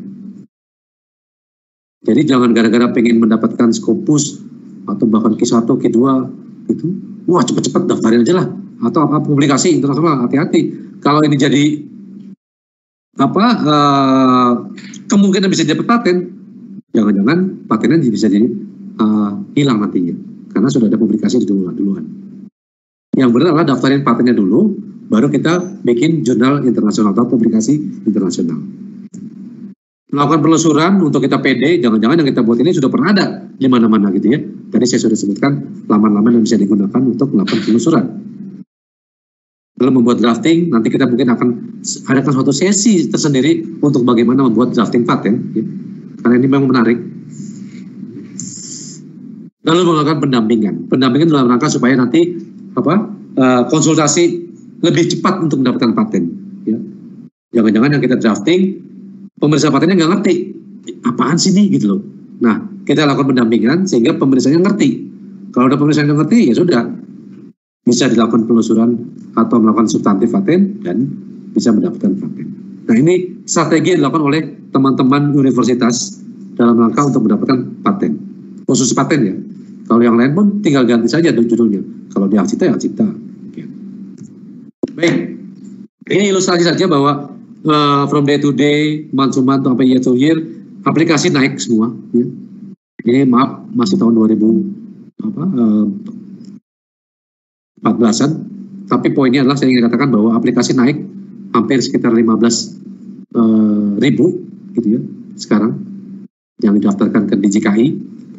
Tapi tentunya dari angka tersebut, ya saya hanya memberikan ilustrasi pada tahun 2014, poinnya adalah masih demikian, ya masih sedikit.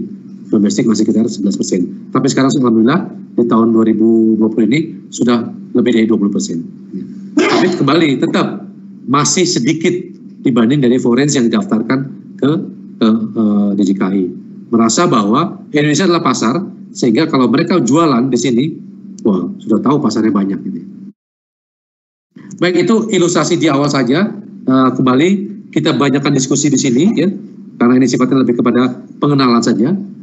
Penutupnya adalah pemahaman sisi paten dan informasi paten sangat penting bagi kegiatan inovasi dan kreasi.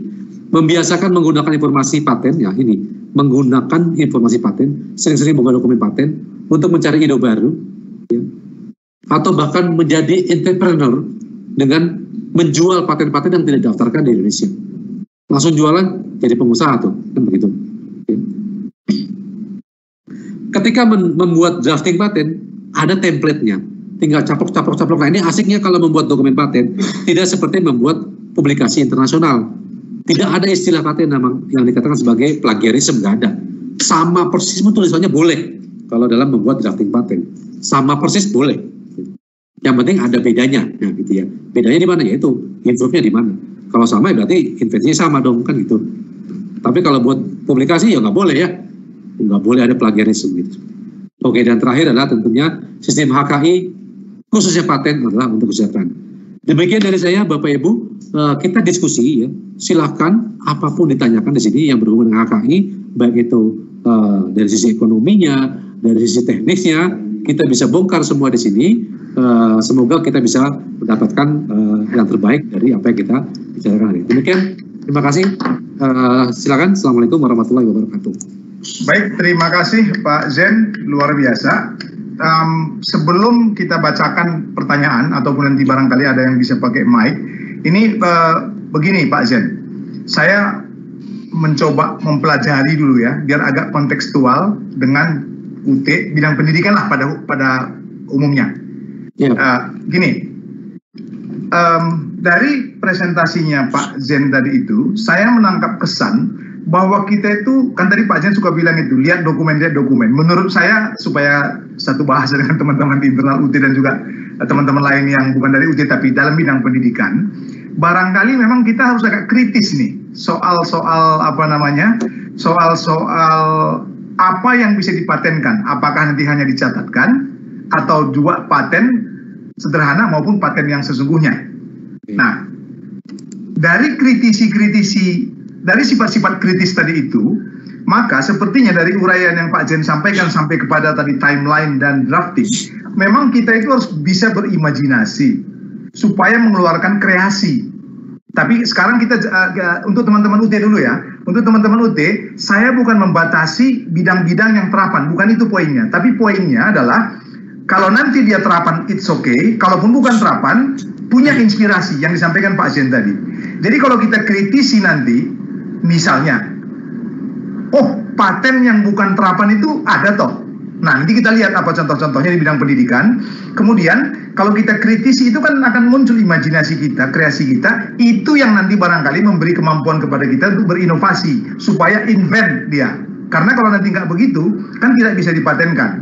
Nah, di dalam dari Pak Zen yang ngomong tadi itu yang disampaikan Pak Zen dalam kurang lebih 35 menit ini saya itu mendapat kesan bahwa memang kita harus dari ujung black box prosesnya itu adalah mulai dari input ke prosesnya, output. Tapi sebenarnya kalau berhenti di situ, kemungkinan besar tidak ketemu itu paten yang disampaikan oleh Pak Zian tadi. Nah, oleh sebab itu, barangkali teman-teman UT uh, eh, berpikirlah atau rencanakanlah gitu ya, rencanakanlah input. Kalau input tadi kan dari riset misalnya kan Pak Zen tadi sudah sebut tuh riset yang memang didesain untuk paten.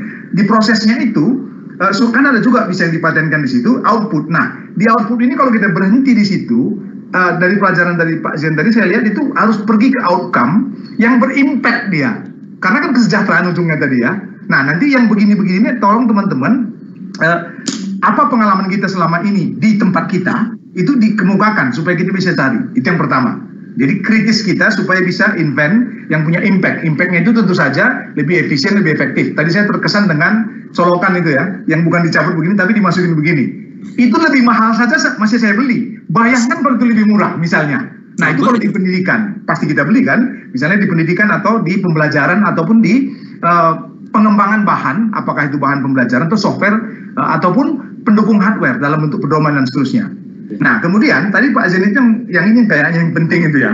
Dia itu selain simple, smart juga. Nah, unik. Nah, ini kan tadi kalau ini ada A, ini B, kemudian menjadi C, tapi tidak punya apa-apa tidak dijalankan. Dia nggak ketemu itu. Benar Pak Zen ya? Iya, iya. Ya.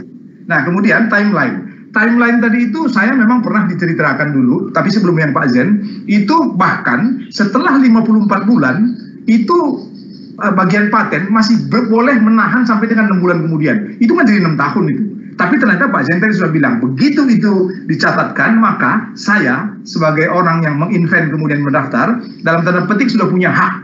Nah kemudian dari segi drafting, drafting ini memang Pak Zen yang barangkali kita belum terlalu familiar ya. Karena apa? Bahasa yang digunakan oleh orang teknis menghasilkan sesuatu, itu kan dimengerti oleh orang teknis. Padahal di sana Nanti bukan semata-mata orang teknis yang akan memeriksa.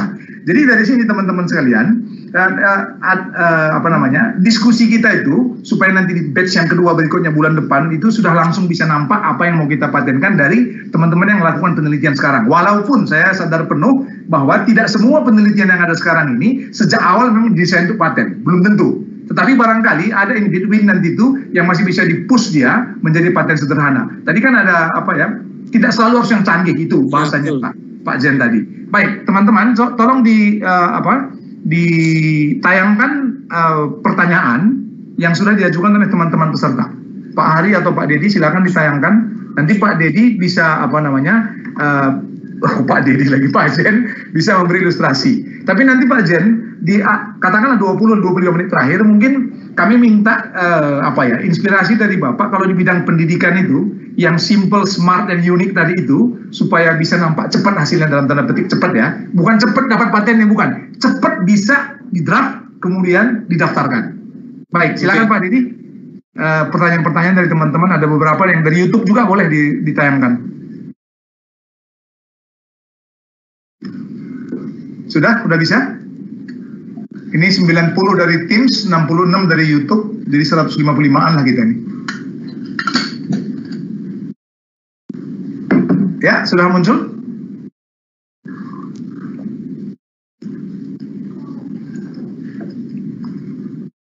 Ya, silakan di eh, pertanyaan pertama. Di slide kedua barangkali ya, coba. Di itu di, di apa di di apa namanya itu? Di slide show. Di slide show di slide kedua. Ya, ini dari Joko Isdianto, Visip Universitas Terbuka. Pertanyaan dari tim sini, bukan belum yang dari YouTube ya. Pak Zen, apabila suatu produk baru sudah dipatenkan, kemudian muncul produk baru yang mirip dan sudah dipatenkan, manakah yang akan dimenangkan apabila terjadi gugat menggugat? Hmm. Misalnya dalam dunia pendidikan, bila disinyalir ada adanya plagiarisme suatu karya, dan dua-duanya sudah dipatenkan, manakah yang akan dimenangkan? Dilihat dari sisi apa untuk memenangkan dua produk yang hampir-hampir sama itu. Silakan Pak Zen. Iya, baik.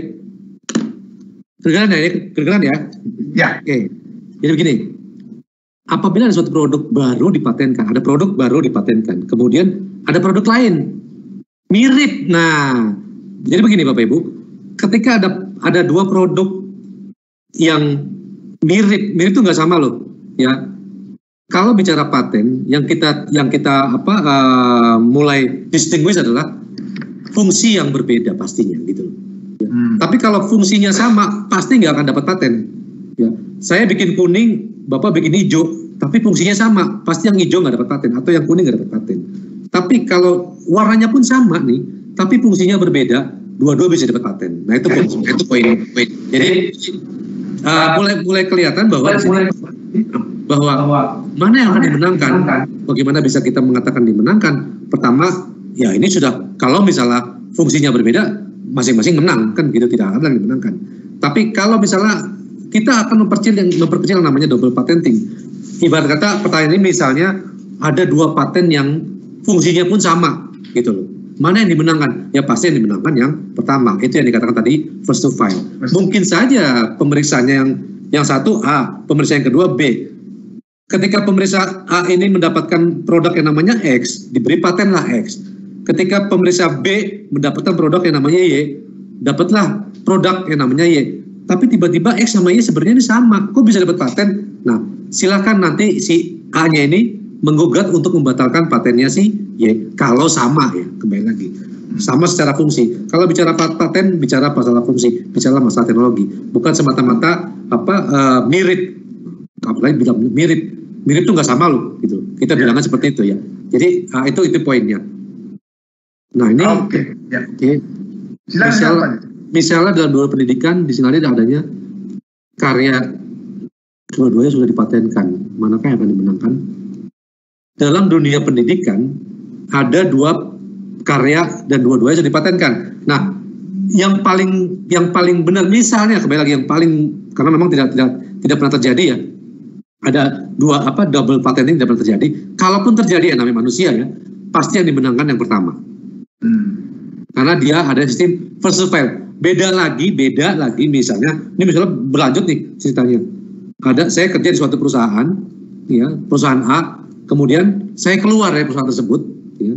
kemudian saya membuat paten yang ada di perusahaan tersebut, gitu loh. Sehingga perusahaan tersebut saya larang, padahal saya tadinya kerja di situ, gitu loh. Nah ini kan sudah udah ada etika tidak baik atau bad faith di sana, sehingga hal-hal demikian pun nanti akan diperhitungkan. Bukan berarti semata-mata saya mendaftarkan lebih dulu, bukan berarti seperti itu juga, tapi karena saya tadinya kerja di sana, sebenarnya barangnya barang sana gitu loh. Tapi karena saya mempunyai etika tidak baik, saya seolah-olah mencuri, kemudian saya daftarkan. Tentunya akan ada yang namanya pembuktian nantinya bahwa ini sebenarnya punya perusahaan tersebut, cuman karena perusahaan tersebut nggak daftar, tapi saya yang daftar, seolah-olah menjadi milik saya, ya pasti saya akan dipersalahkan karena saya mempunyai yang namanya etika tidak baik dan paten yang saya punya bisa dibatalkan oleh perusahaan tersebut. Itu itu ilustrasinya. Oke, baik. Berikutnya, ya. Pak Joko Sidianto mudah-mudahan sudah dapat idenya ya. Siti Rosma Dewi, mahasiswa Sasing itu sastra Inggris. Ini singkatan nih, karena orang luar belum tentu tahu. Dari UPPJC UT Bandung, ini dari yang yang penonton kita melihat kita Pak Jen yang dari YouTube yes. ya. Berapa lama hak cipta atau paten berlaku? Jika masa berlaku habis, apakah hak cipta paten bisa diakui oleh orang lain? Siap, oke. Okay. Uh, tadi saya ada ada apa uh, head to head ya tadi ya kalau salah dari berapa gitu ya bicara masalah cipta. Hak cipta itu adalah selama atau seumur manusia itu hidup gitu ya. ditambah 50 tahun lagi. Jadi misalnya lagu Bengawan Solo gitu ya, Bengawan Solo yang menciptakan gesang. Selama gesangnya masih ada, itu perlindungannya tentunya masih ada sampai nanti 50 tahun lagi setelah beliau tidak ada gitu. Itu itu masa masa perlindungannya. Dan bisakah diakui oleh orang lain? Memaknai diakui bukan berarti jadi gini, misalnya putranya Gesang misalnya gitu ya, itu kan berarti udah orang lain ya, memaknai ya. bukan karena bukan Gesang lagi. Nah itu boleh. Tapi kalau dimiliki oleh orang lain, ya enggak juga, selama pelindungannya masih ada, itu tadi. Hmm, ya. Oh jadi itu 50 artinya gini ya, misalnya katakan al almarhum Gesang meninggal ya. kira-kira berapa? 10 tahun lalu ya. ya. Itu berarti empat masih 40 tahun ke depan itu masih bukan. attached. Bukan. Selama beliau hidup sampai 10 tahun kemarin ya kemarin ya. gitu. Nah, ketika beliau nggak ada tambah 50 tahun. Yuh, Iya, iya, aman, aman kok. Karena itu undang-undangnya begitu ya bunyinya ya. Ya tadi bilang gitu. Bahkan kalau untuk hak cipta apa uh, program komputer kalau salah 70 tahun bahkan. 70 tahun ya. Hmm, ya. Jadi artinya kan sebenarnya nggak usah takut-takut amat juga kita soal kepemilikan hak tersebut ya. Ya. Maksudnya jangan gini, aduh nanti kalau udah meninggal gimana? Udahlah, nggak usah ngurus-ngurus lah kan jadi beda lagi. Kalau meninggal udah malaikat. Baik, berikutnya ini Bu Sinta Rosma Dewi ini mahasiswa. Oke, berikutnya. Ini dari Reza Nur Rahman dari Universitas Terbuka, ini dari YouTube. apa aspek yang biasanya menjadi sumber konflik haki dan paten? Bagaimana agar memenangkan kasus itu dalam opini publik dan juga pengadilan. Jadi kadang-kadang bisa di publik orangnya dianggap hebat, tapi di pengadilan kalah dan sebaliknya barangkali ya. ya, ya. Silakan Pak Jen.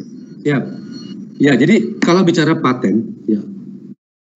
Nah ini ini konflik haki dan paten.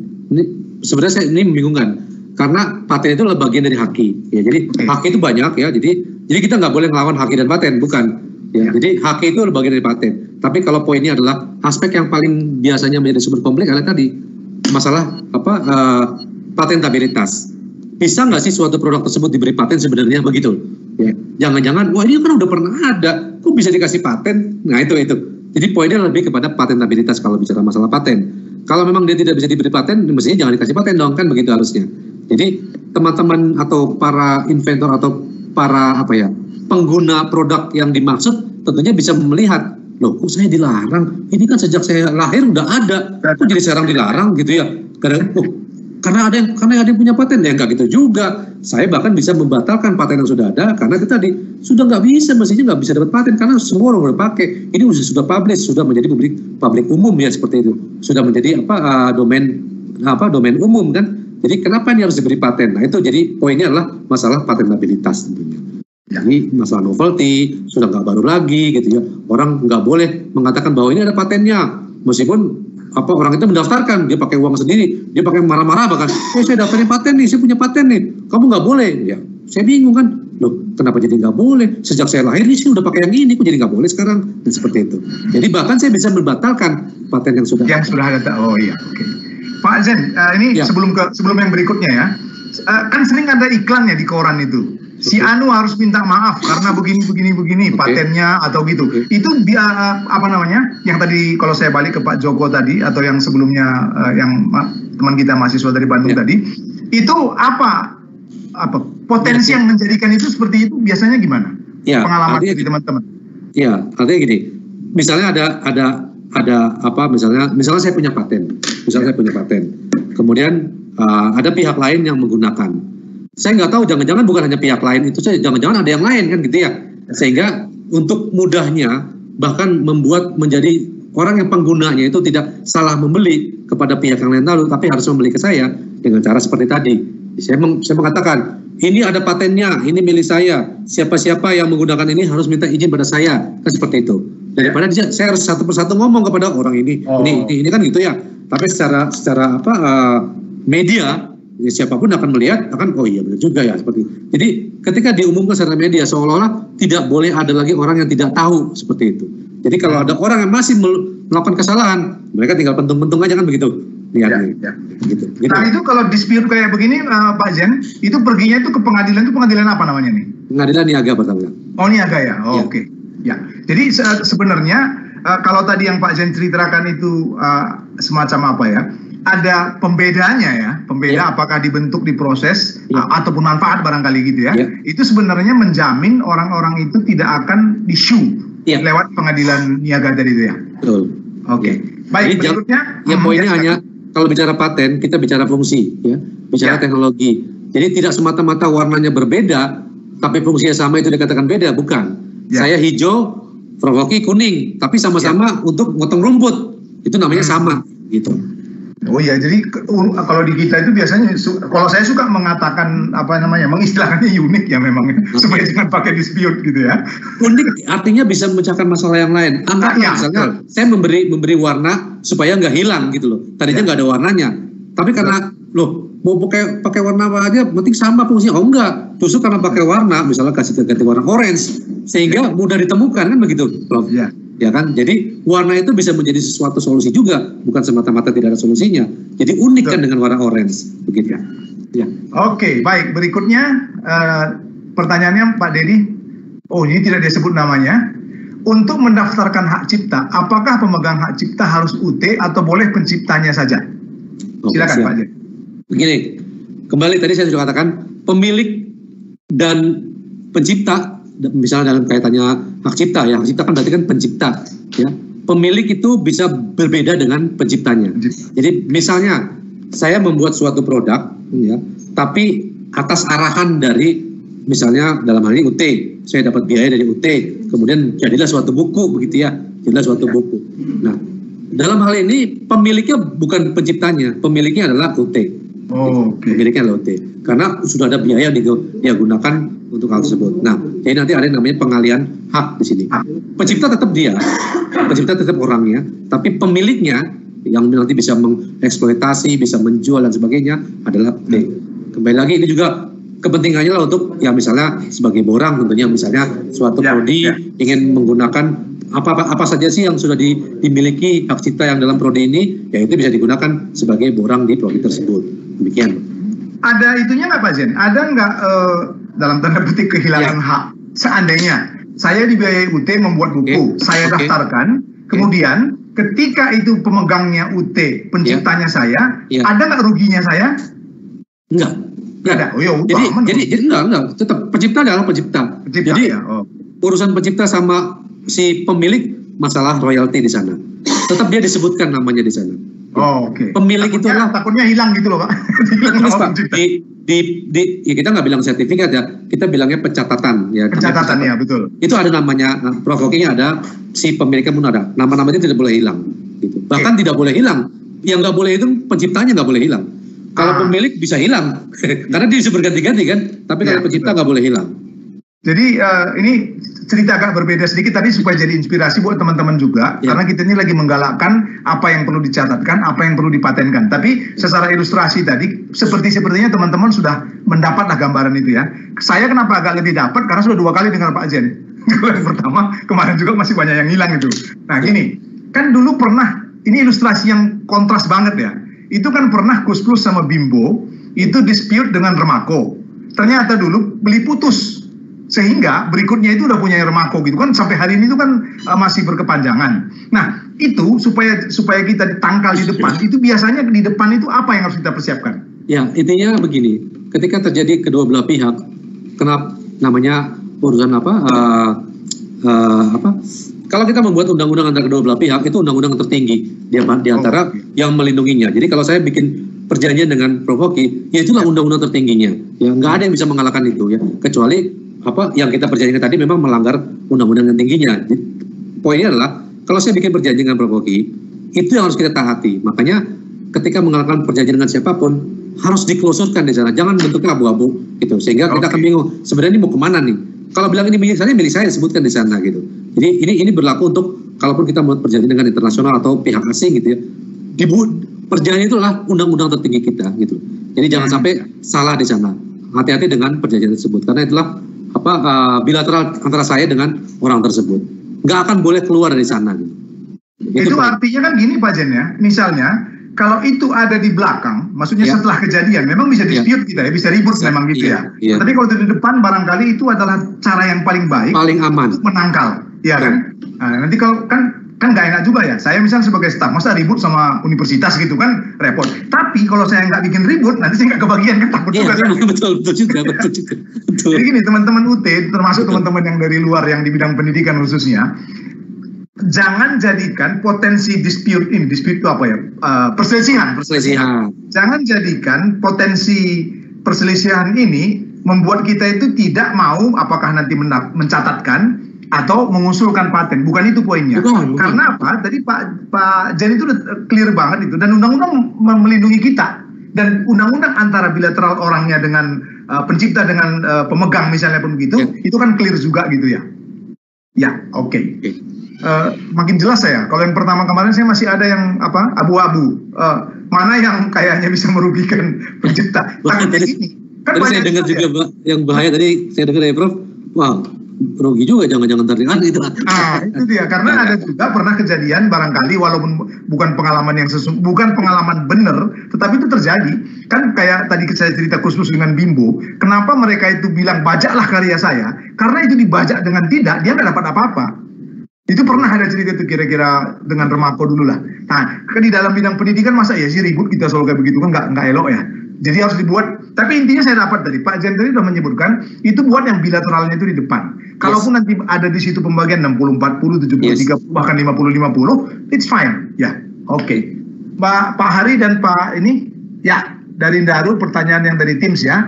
haki itu diperuntukkan untuk skala nasional saja atau bisa berlaku secara internasional? Silakan Pak Jen. Oke, sebenarnya kembali lagi, saya ingin meluruskan lagi, haki itu diperuntukkan. Nah, haki itu kan ada banyak ya di dalamnya. Ada hak cipta, ada paten, ada merek. Nah, ini yang mana? Misalnya langsung to the point, misalnya tentang paten.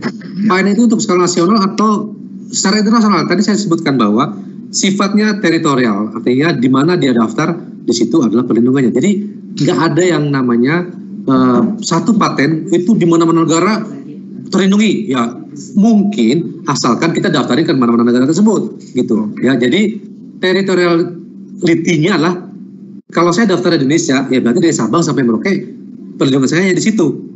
Lalu gimana dengan di luar Indonesia? Ya nggak ada perlindungannya, gitu. Jadi hmm. mungkin itu pertanyaannya karena haki diperuntukkan untuk skala nasional atau bisa berlaku dua-duanya bisa. Dalam artian kalau saya daftar ke internasional berarti saya dilindungi internasional. Kalau ya. saya nggak daftar ya sudah saya daftar perlindungan saya hanya di nasional. Gitu. Hmm. Itu mungkin poinnya. Oh jadi tadi di yang kata-kata teritorial dengan universal sebenarnya berlaku universal, bukan berlaku. Bukan. Pemahamannya seluruh universal sama, tetapi pendaftarannya basisnya teritorial ya. Jadi contoh misalnya universal itu uh, artinya ketika kami para pemeriksa memutuskan ini diberi paten atau ditolak, kami akan menggunakan source di muka bumi ini, oh. itu universal.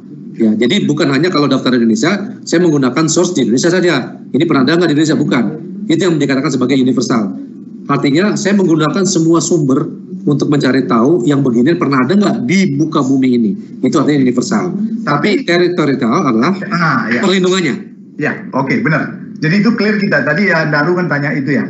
ya. Baik, uh, gini uh, Pak Zen, uh, di UT itu paling tidak hasil-hasil penelitiannya kan ada yang bisa apply, misalnya bisa apply gitu, katakanlah ada teman kita bisa membuat formula yang kalau itu diberikan kepada ternak unggas ayam, misalnya okay, okay, okay. produk dagingnya selain lebih empuk dan uh, enak, juga lebih berat timbangan kilonya, gitu. Itu kan nampak tuh.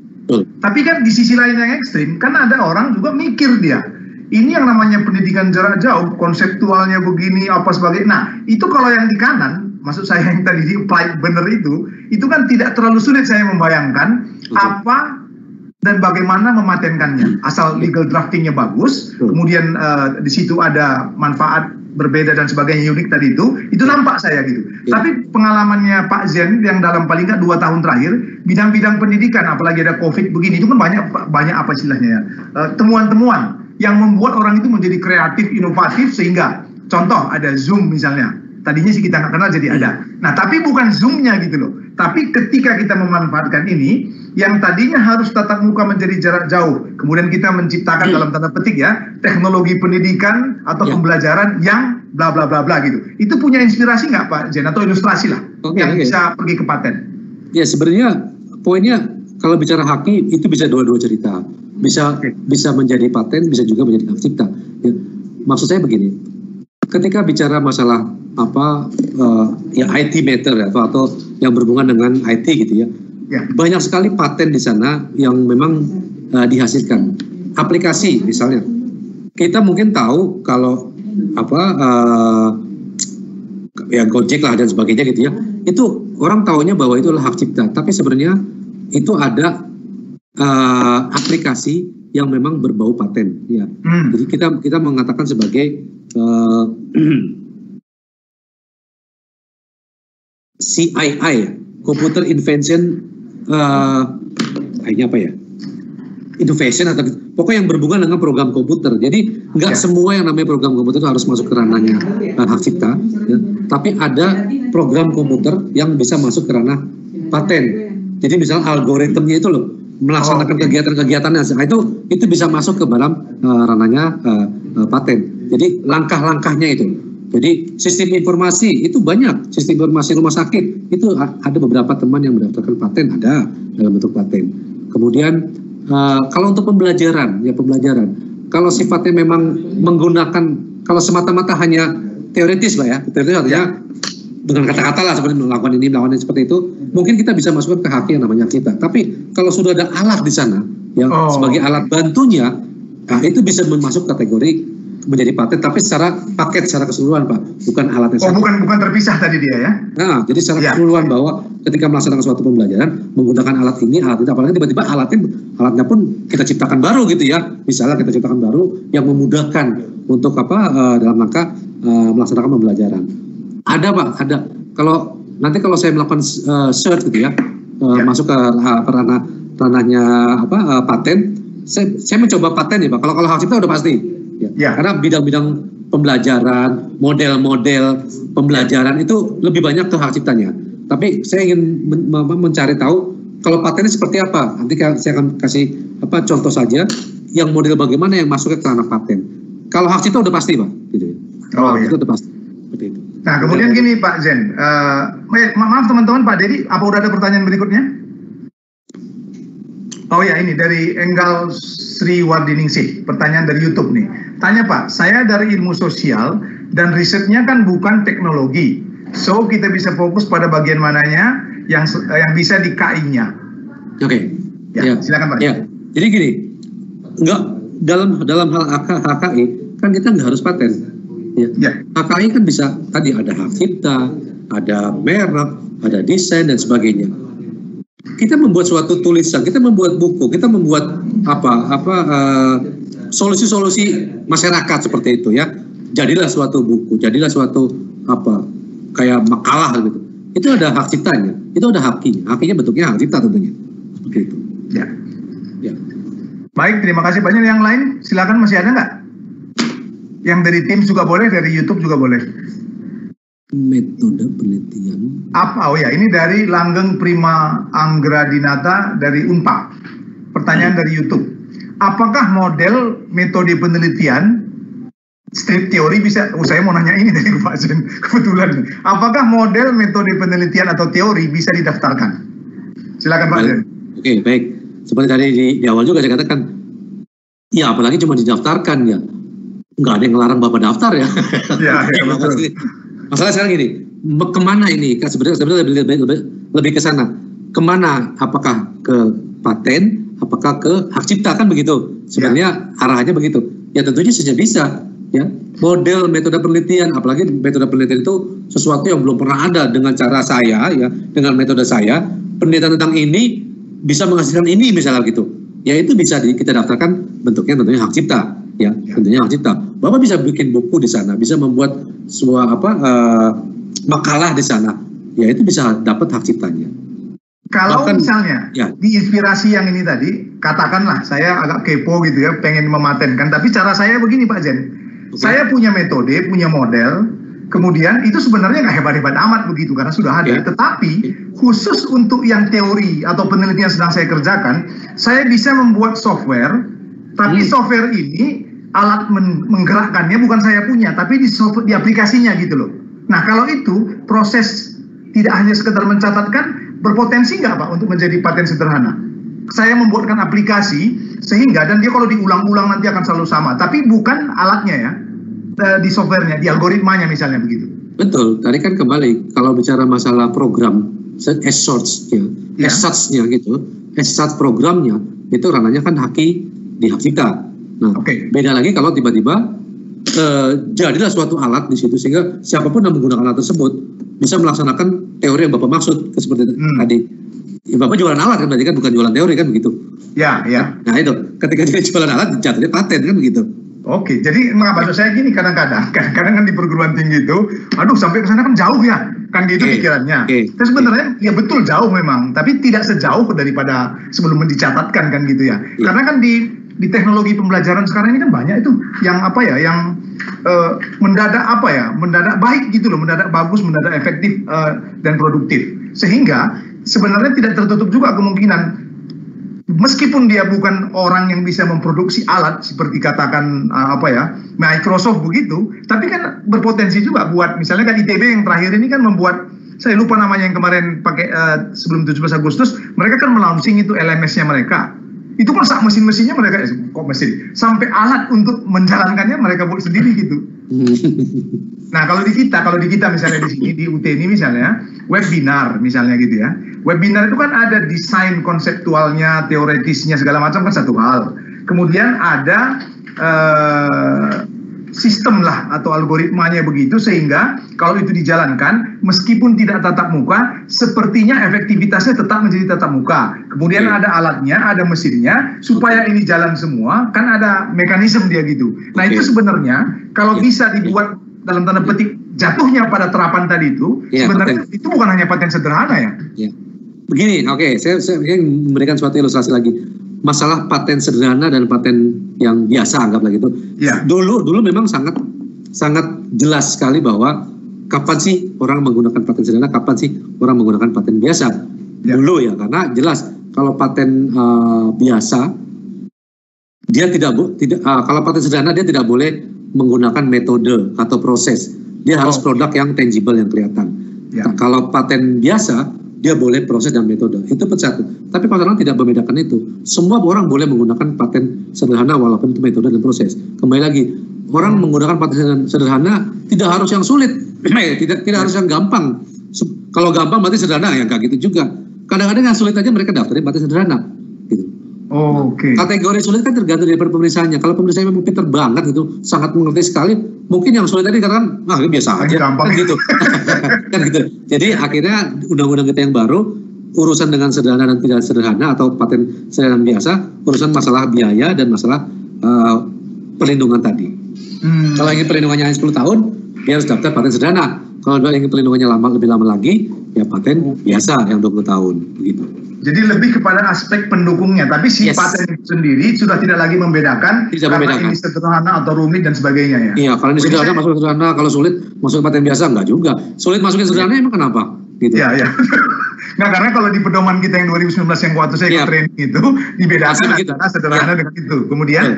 kita juga di KI akhirnya ikut tuh tipe satu dibayar lebih mahal KI-nya ya pencatatannya sorry pencatatan sertifikatnya hmm. itu eh, bukan sertifikat namanya surat pencatatan, surat pencatatan. itu kalau dia tipe 1 kita bayar dalam tanda petik 10 juta misalnya kalau tipe 2 itu 5 juta kenapa kita bedakan karena kalau yang atas ini berpotensi menjadi paten sederhana oh. kalau yang eh sorry Iya benar, paten sederhana atau paten. Jadi masih kita bedakan. Jadi mungkin dengan informasi dari Pak Zen barusan ini, sebenarnya bukan bukan di situ letaknya ya.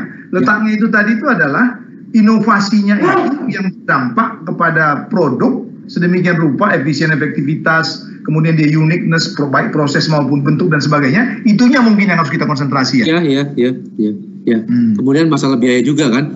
Ngapain ya, juga ya. harus bayar bayar bayar mahal untuk sesuatu yang mungkin setahun dua tahun udah orang menciptakan lagi gitu loh untuk apa kan gitu ya makanya mereka udah pada sederhana aja apalagi bicara masalah masalah uh, uh, IoT gitu ya Internet of Things itu urusannya bukan tahunan, mungkin bulanan udah ada yang baru kan gitu ya. ya. Jadi ngapain harus pelindungan sampai 20 tahun kalau cuma 10 tahun aja sehari udah ganti lagi kan gitu. Ya, Seperti ya. itu Pak. Nah kemudian balik ke timeline tadi Pak Jen ya. ya. Di timeline itu kan bisa sampai 54 bulan, bahkan nanti kalau ada keraguan gitu bisa sampai 60 bulan. Itu kalau di apa ya, sebenarnya bukan apa supaya jangan patah semangat lama banget gitu. Tadi kan ya. ada tipsnya itu dicatat apa di daftar uh, apa first to file itu beres begitu. Biasanya supaya kita itu tidak terlalu apa ya lama tadi kan didampingi. Itu ya. bentuk-bentuk pendampingannya itu di tahap di mana bisa di bisa dilakukan okay. oleh konsultan misalnya. Baik. Pertama tentunya kalau bicara masalah komersialisasi, komersialisasi ketika bicara wah lama banget 54 nggak harus 54 bulan kan? Di hari kedua setelah daftar sudah bisa dikomersialiskan seperti ya. itu. Itu masalah komersialisasi. Tapi kalau sekarang masalah apa uh, pendapatan putusan bisa melalui namanya pendampingan. Pendampingan kita bicaranya apa namanya mediasi lah seperti itu. Mediasi, ya. itu terjadi ketika pemeriksaan substantif Oh, Oke. Okay. Ketika mas masanya pemeriksaan substantif, kalau belum ada masa pemeriksaan substantif ya nggak ada yang bisa di, kita dampingi kan masih masalah formality semua, formality check semua. Tapi ketika sudah diperiksa oleh pemeriksa paten, nah di sana bisa kita melakukan pendampingan. Hmm. Uh, itu artinya yang 54 bulan tadi di depan ada 18 bulan. Okay. Ini dalam tanda petik kan dalam bisa bergeser lebih singkat Iya. Tapi kalau yang enam bulan tadi, yang enam bulan itu itu nggak boleh. Itu biasanya apa? Apa bentuk eh, bentuk-bentuk uh, kegiatan atau ya, uh, dimasyarakatkannya seperti apa? Baik. Biasanya misalnya UT ada beberapa teman yang mendaftarkan paten ini paten 20 tahun ya. Paten ya. 20 tahun gitu misalnya, paten yang biasa tadi. Ketika 18 bulan 18 bulan kita potong jadi enam bulan. Ya. Nah, ketika di bulan ke-13 lah merasa bahwa ah saya sudah sudah harus melakukan apa uh, bimbingan pendampingan ya kita meminta kepada Dijen KAI dalam hal ini Direktur Paten untuk mengadakan apa uh, bimbingan ya sudah jadi nggak harus nungguin sampai 54 bulan oh. mungkin di bulan kedua bulan ketiga sudah ada putusan di sana gitu. hmm, ya. Cuma itu tadi yang tetap ya, yang enam bulan yang ke masyarakat itu bulan, sama, sama seperti itu, Prof. Kalau kita bikin apa uh, sertifikat tanah gitu ya, itu oh, ada iya. waktu untuk masyarakat untuk iya. mengatakan, wah jangan ini punya saya, seperti itu. Masalah iya. masyarakat untuk memberikan oposisi lah seperti itu. Itu masanya. Pak Dedi, apa masih ada pertanyaan dari teman-teman? Ya, dari Jeffrey Chandra dari UT Bengkulu.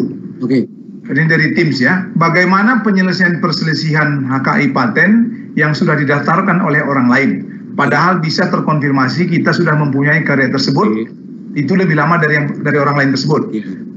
Pertanyaan tujuan ke LPPM dan Narsum, bagaimanakah hakikat paten strip HKI lainnya dalam fungsi pembelajaran? Karena tentunya di peraturan perundang-undangan sudah dijelaskan bahwa bila digunakan untuk pendidikan bisa difungsikan oleh orang banyak. Bukankah pendidikan dan hasil penemuan kita untuk masyarakat kita semua? Jadi ada dua bagian ini Pak. Oke. Okay, yang pertama sama yang kedua ada ada bedanya ya. Silakan. Oke. Okay.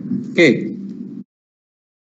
Ya, tadi seperti saya katakan, nggak usah khawatir dengan yang namanya ada paten. Kalau merasa bahwa itu sudah pernah ada, sudah pernah publis, ya kita batalkan aja patennya, kan begitu.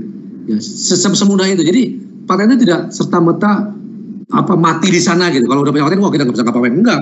Kalau terbukti memang sudah pernah ada lebih dulu, meskipun orang itu tidak mendaftarkan paten, selama ada bukti ini pernah ada, ya sudah bukti tersebut kita kita sebagai dasar untuk membatalkan paten yang sudah ada. Karena bukan hal yang mustahil pemeriksa tidak mendapatkan bukti tersebut pada waktu dia meriksa. Ya, pemeriksa kan manusia juga. Dia cari di mana-mana, ternyata adanya di pasar. Pasarnya pasar Bengkulu lagi. Kan nggak ketemu. Dia nggak pernah main ke Bengkulu gitu ya. Dia kan nggak bisa kata kecuali apa produk tersebut pernah dipublikasikan dalam bentuk misalnya ya, online atau database atau apa pun ya bisa ketemu. Tapi kalau secara yang sifatnya spesifik, kalau nggak ketemu, ya dikatakan nggak ada.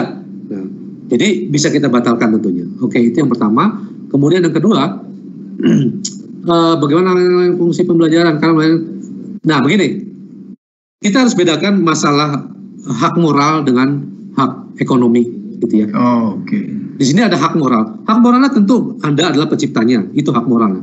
Tapi kembali lagi, silakan selama itu tidak menjadi hak ekonomi. Mereka menjualnya, kemudian mendapatkan sesuatu dari apa yang kita buat tadi. Nah itu yang menjadi nggak fair tentunya. Selama mereka hanya pakai-pakai saja silakan. Tapi kalau tiba-tiba menjadi masalah tanda kutip uang gitu ya, ya nggak boleh dong. Di situ ada hak ekonomi yang memang mestinya milik kepada si pencipta tersebut. Nah, itu poinnya.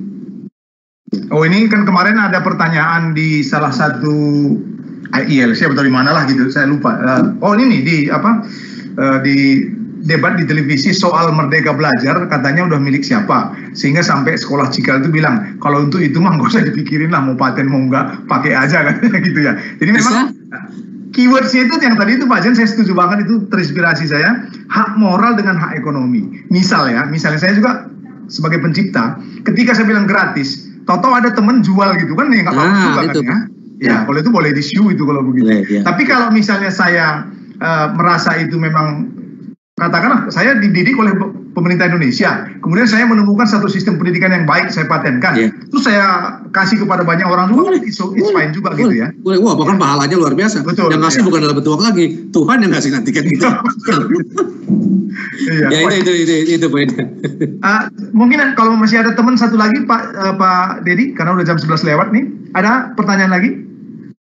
Pertanyaan dari Pak Asep Helmi dari BKUK UT, pertanyaan dari Teams ya pada bagian keuangan dan keuangan, oh, pada bagian kepegawaian dan keuangan kali ya, ada beberapa aplikasi-aplikasi program. Apakah bisa dihak patenkan? Itu yang pertama. Yang kedua, berapa biaya dan jangka waktu sampai memperoleh nomor hak cipta? Tiga, pada dokumentasi program yang perlu diberikan sampai sejauh mana? Ya, okay. Ya, silakan Pak Zain. Ya.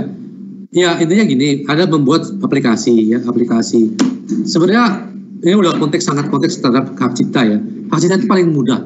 Bahkan semua serba online dan siapa pun bisa melakukan step-step untuk mendaftarkan ini ya. Dan ya seperti saya katakan tadi, waktunya pun nggak lama untuk mendapatkan yang namanya bukti uh, pencatatan hak cipta. Bahkan kita sendiri yang ngeprint seperti itu. Ya. Kalau nggak salah nggak sampai seminggu ya Pak ya? Prof Aki pernah uh, mencoba? Saya ini sampai ini bukan pamer ya, saya mau ngasih semangat aja. Terbanyak orang yang punya kayak gini sekarang di UT itu sampai hari ini, sampai kemarin lah paling nggak entah kalau besok ya, itu saya itu. nah, biasanya biasanya ya ini teman-teman sekalian yang mau di yang mau disiapkan itu, ini pengalaman real, saya bukan bukan men, menjadi corong, tapi saya bahagia dengan pelayanan ini. Kalau saya bisa masuk sebelum jam 10 pagi, hmm. maka sebelum jam 2 siang, saya sudah dapat billing tagihannya. Okay. Begitu saya bayar sebelum jam 2, maka okay segera setelah itu paling enggak ya satu setengah jam ditunggu atau dua jam begitu saya langsung dapat bisa print sendiri okay. tetapi kalau saya memasukkannya itu lewat jam 10 pagi eh sorry lewat jam 2 okay. billingnya saya dapat hari itu tapi ngeprintnya besok setelah jam oh, 10 siap. Pernah banyak nah itu itu dari KI-nya begitu dia udah ada mekanisme Siap. Kemudian pembayarannya itu bisa lewat bank, bisa lewat kantor pos, bisa lewat ATM, bisa lewat mana saja. Saya biasanya pakai bank BTN, kadang-kadang BRI, kadang-kadang kantor pos yang dekat di depan UT. Maka itu begitu kita bayar gitu, nanti tanda terima apa segala macam keluar sendiri otomatis. Sudah memang billing sistemnya itu seperti begitu. Nah kemudian yang harus disiapkan itu ada dua bagian besar sebenarnya bagian pertama yang besar itu adalah yang mau kita catatkan itu apa, ya. deskripsinya dalam tanda petik unggulnya di mana, kenapa kok kita bangga-banggaan mau mematenkan itu gitu gitulah kira-kira ya. Maka show up lah, kasih tahu bahwa kalau dulu saya pakai software yang lama, misal kalau software gitu, saya butuh waktu tiga jam. Dengan software saya ini jadi dua jam. Kasih tahu itu, apa keistimewanya, apa kata kuncinya, apa upaya kita. Dan jangan lebih dari dua paragraf. Dua paragraf itu ya satu paragraf yang baik itu kan antara 7 sampai 12 kalimat sehingga hmm. jangan yang meriksa juga bingung tuh yang meriksa di sana gitu. Kemudian jangan lupa KTP, NPWP, sama satu lagi apa ya? Hmm. Tapi kakak itu nggak wajib. KTP, NPWP itu wajib. Nah, kalau yang itunya, maka teman-teman itu nggak lama nunggunya. Pernah saya lama, itu lebih dari 24 jam, karena satu dari judul yang saya masukkan itu dicurigai. Kayaknya pernah saya ajukan atau orang lain. Nah, itu memang lama.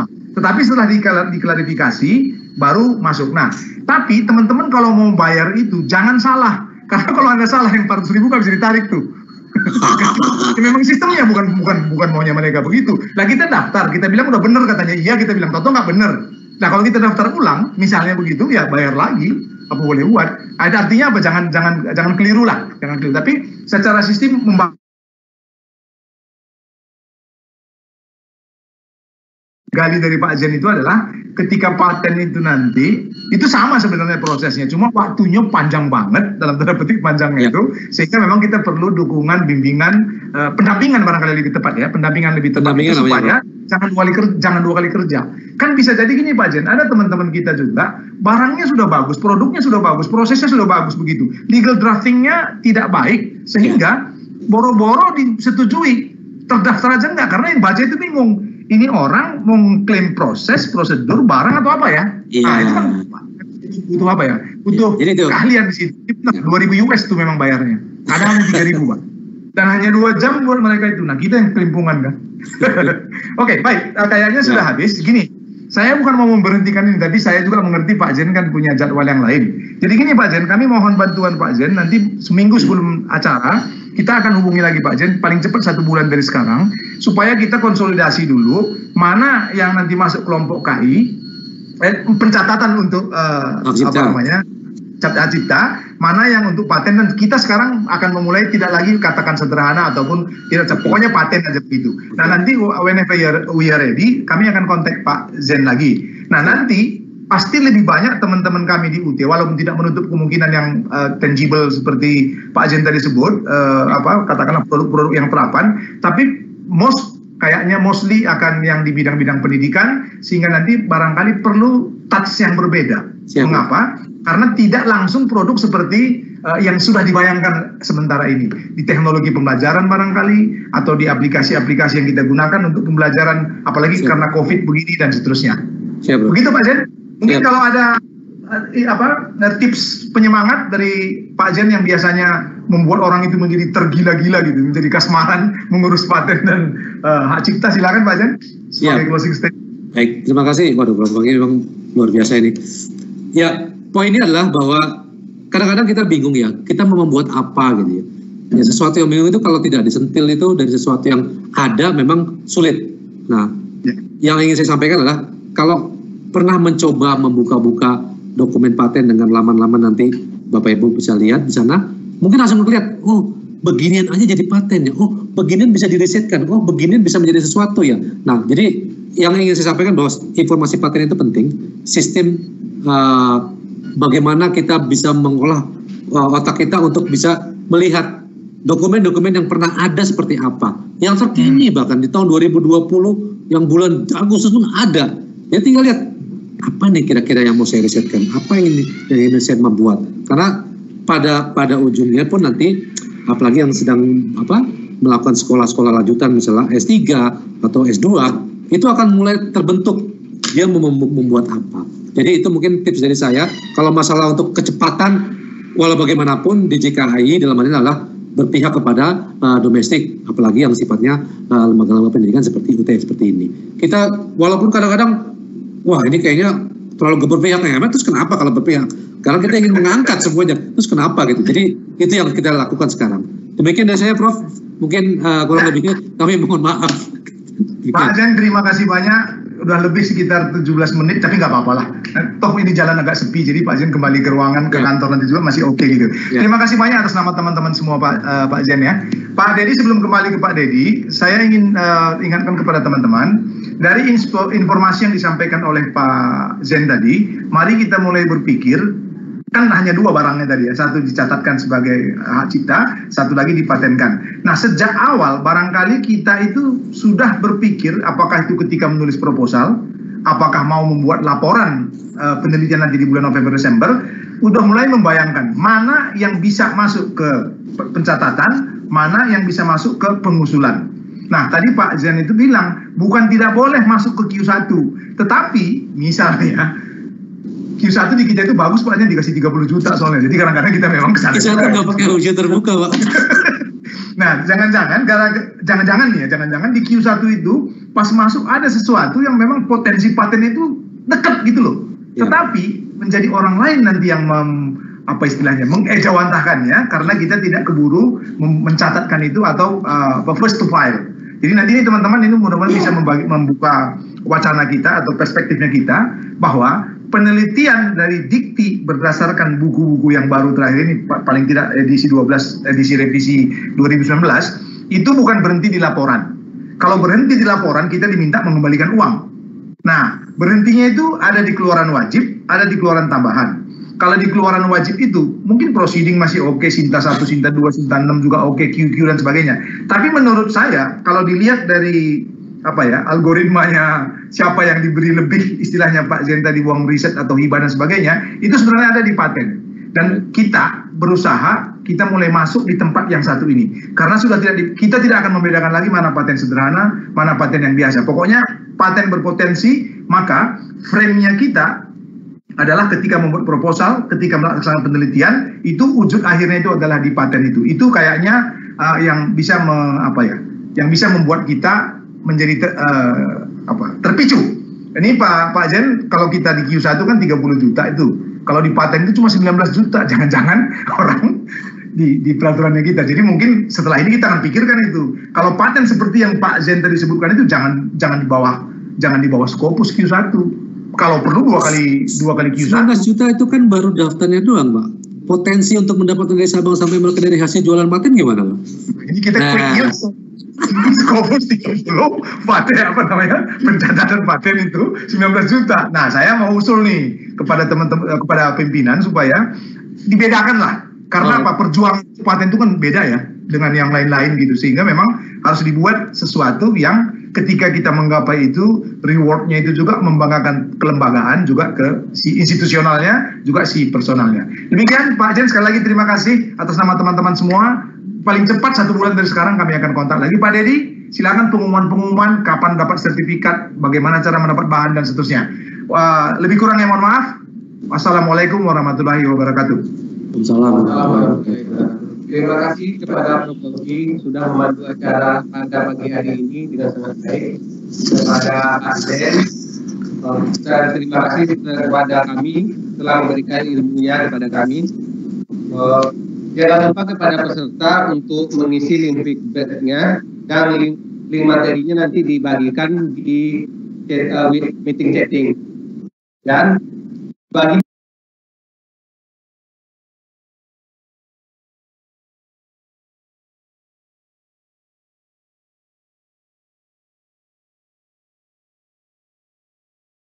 pertanyaan yang lima terbaik akan mendapatkan souvenir berupa buku 35 tahunnya UT. Terima kasih atas kerjasamanya kepada Prof. Koki, kepada Pak Zen. Assalamualaikum warahmatullahi wabarakatuh. Waalaikumsalam warahmatullahi wabarakatuh. Dari uh, tim 85, YouTube 176, 250 lebih. Ya, terima kasih buat semua ya. Sampai ketemu.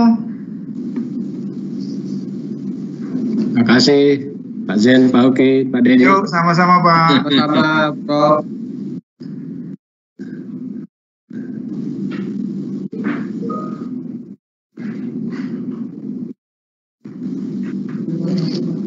Sedang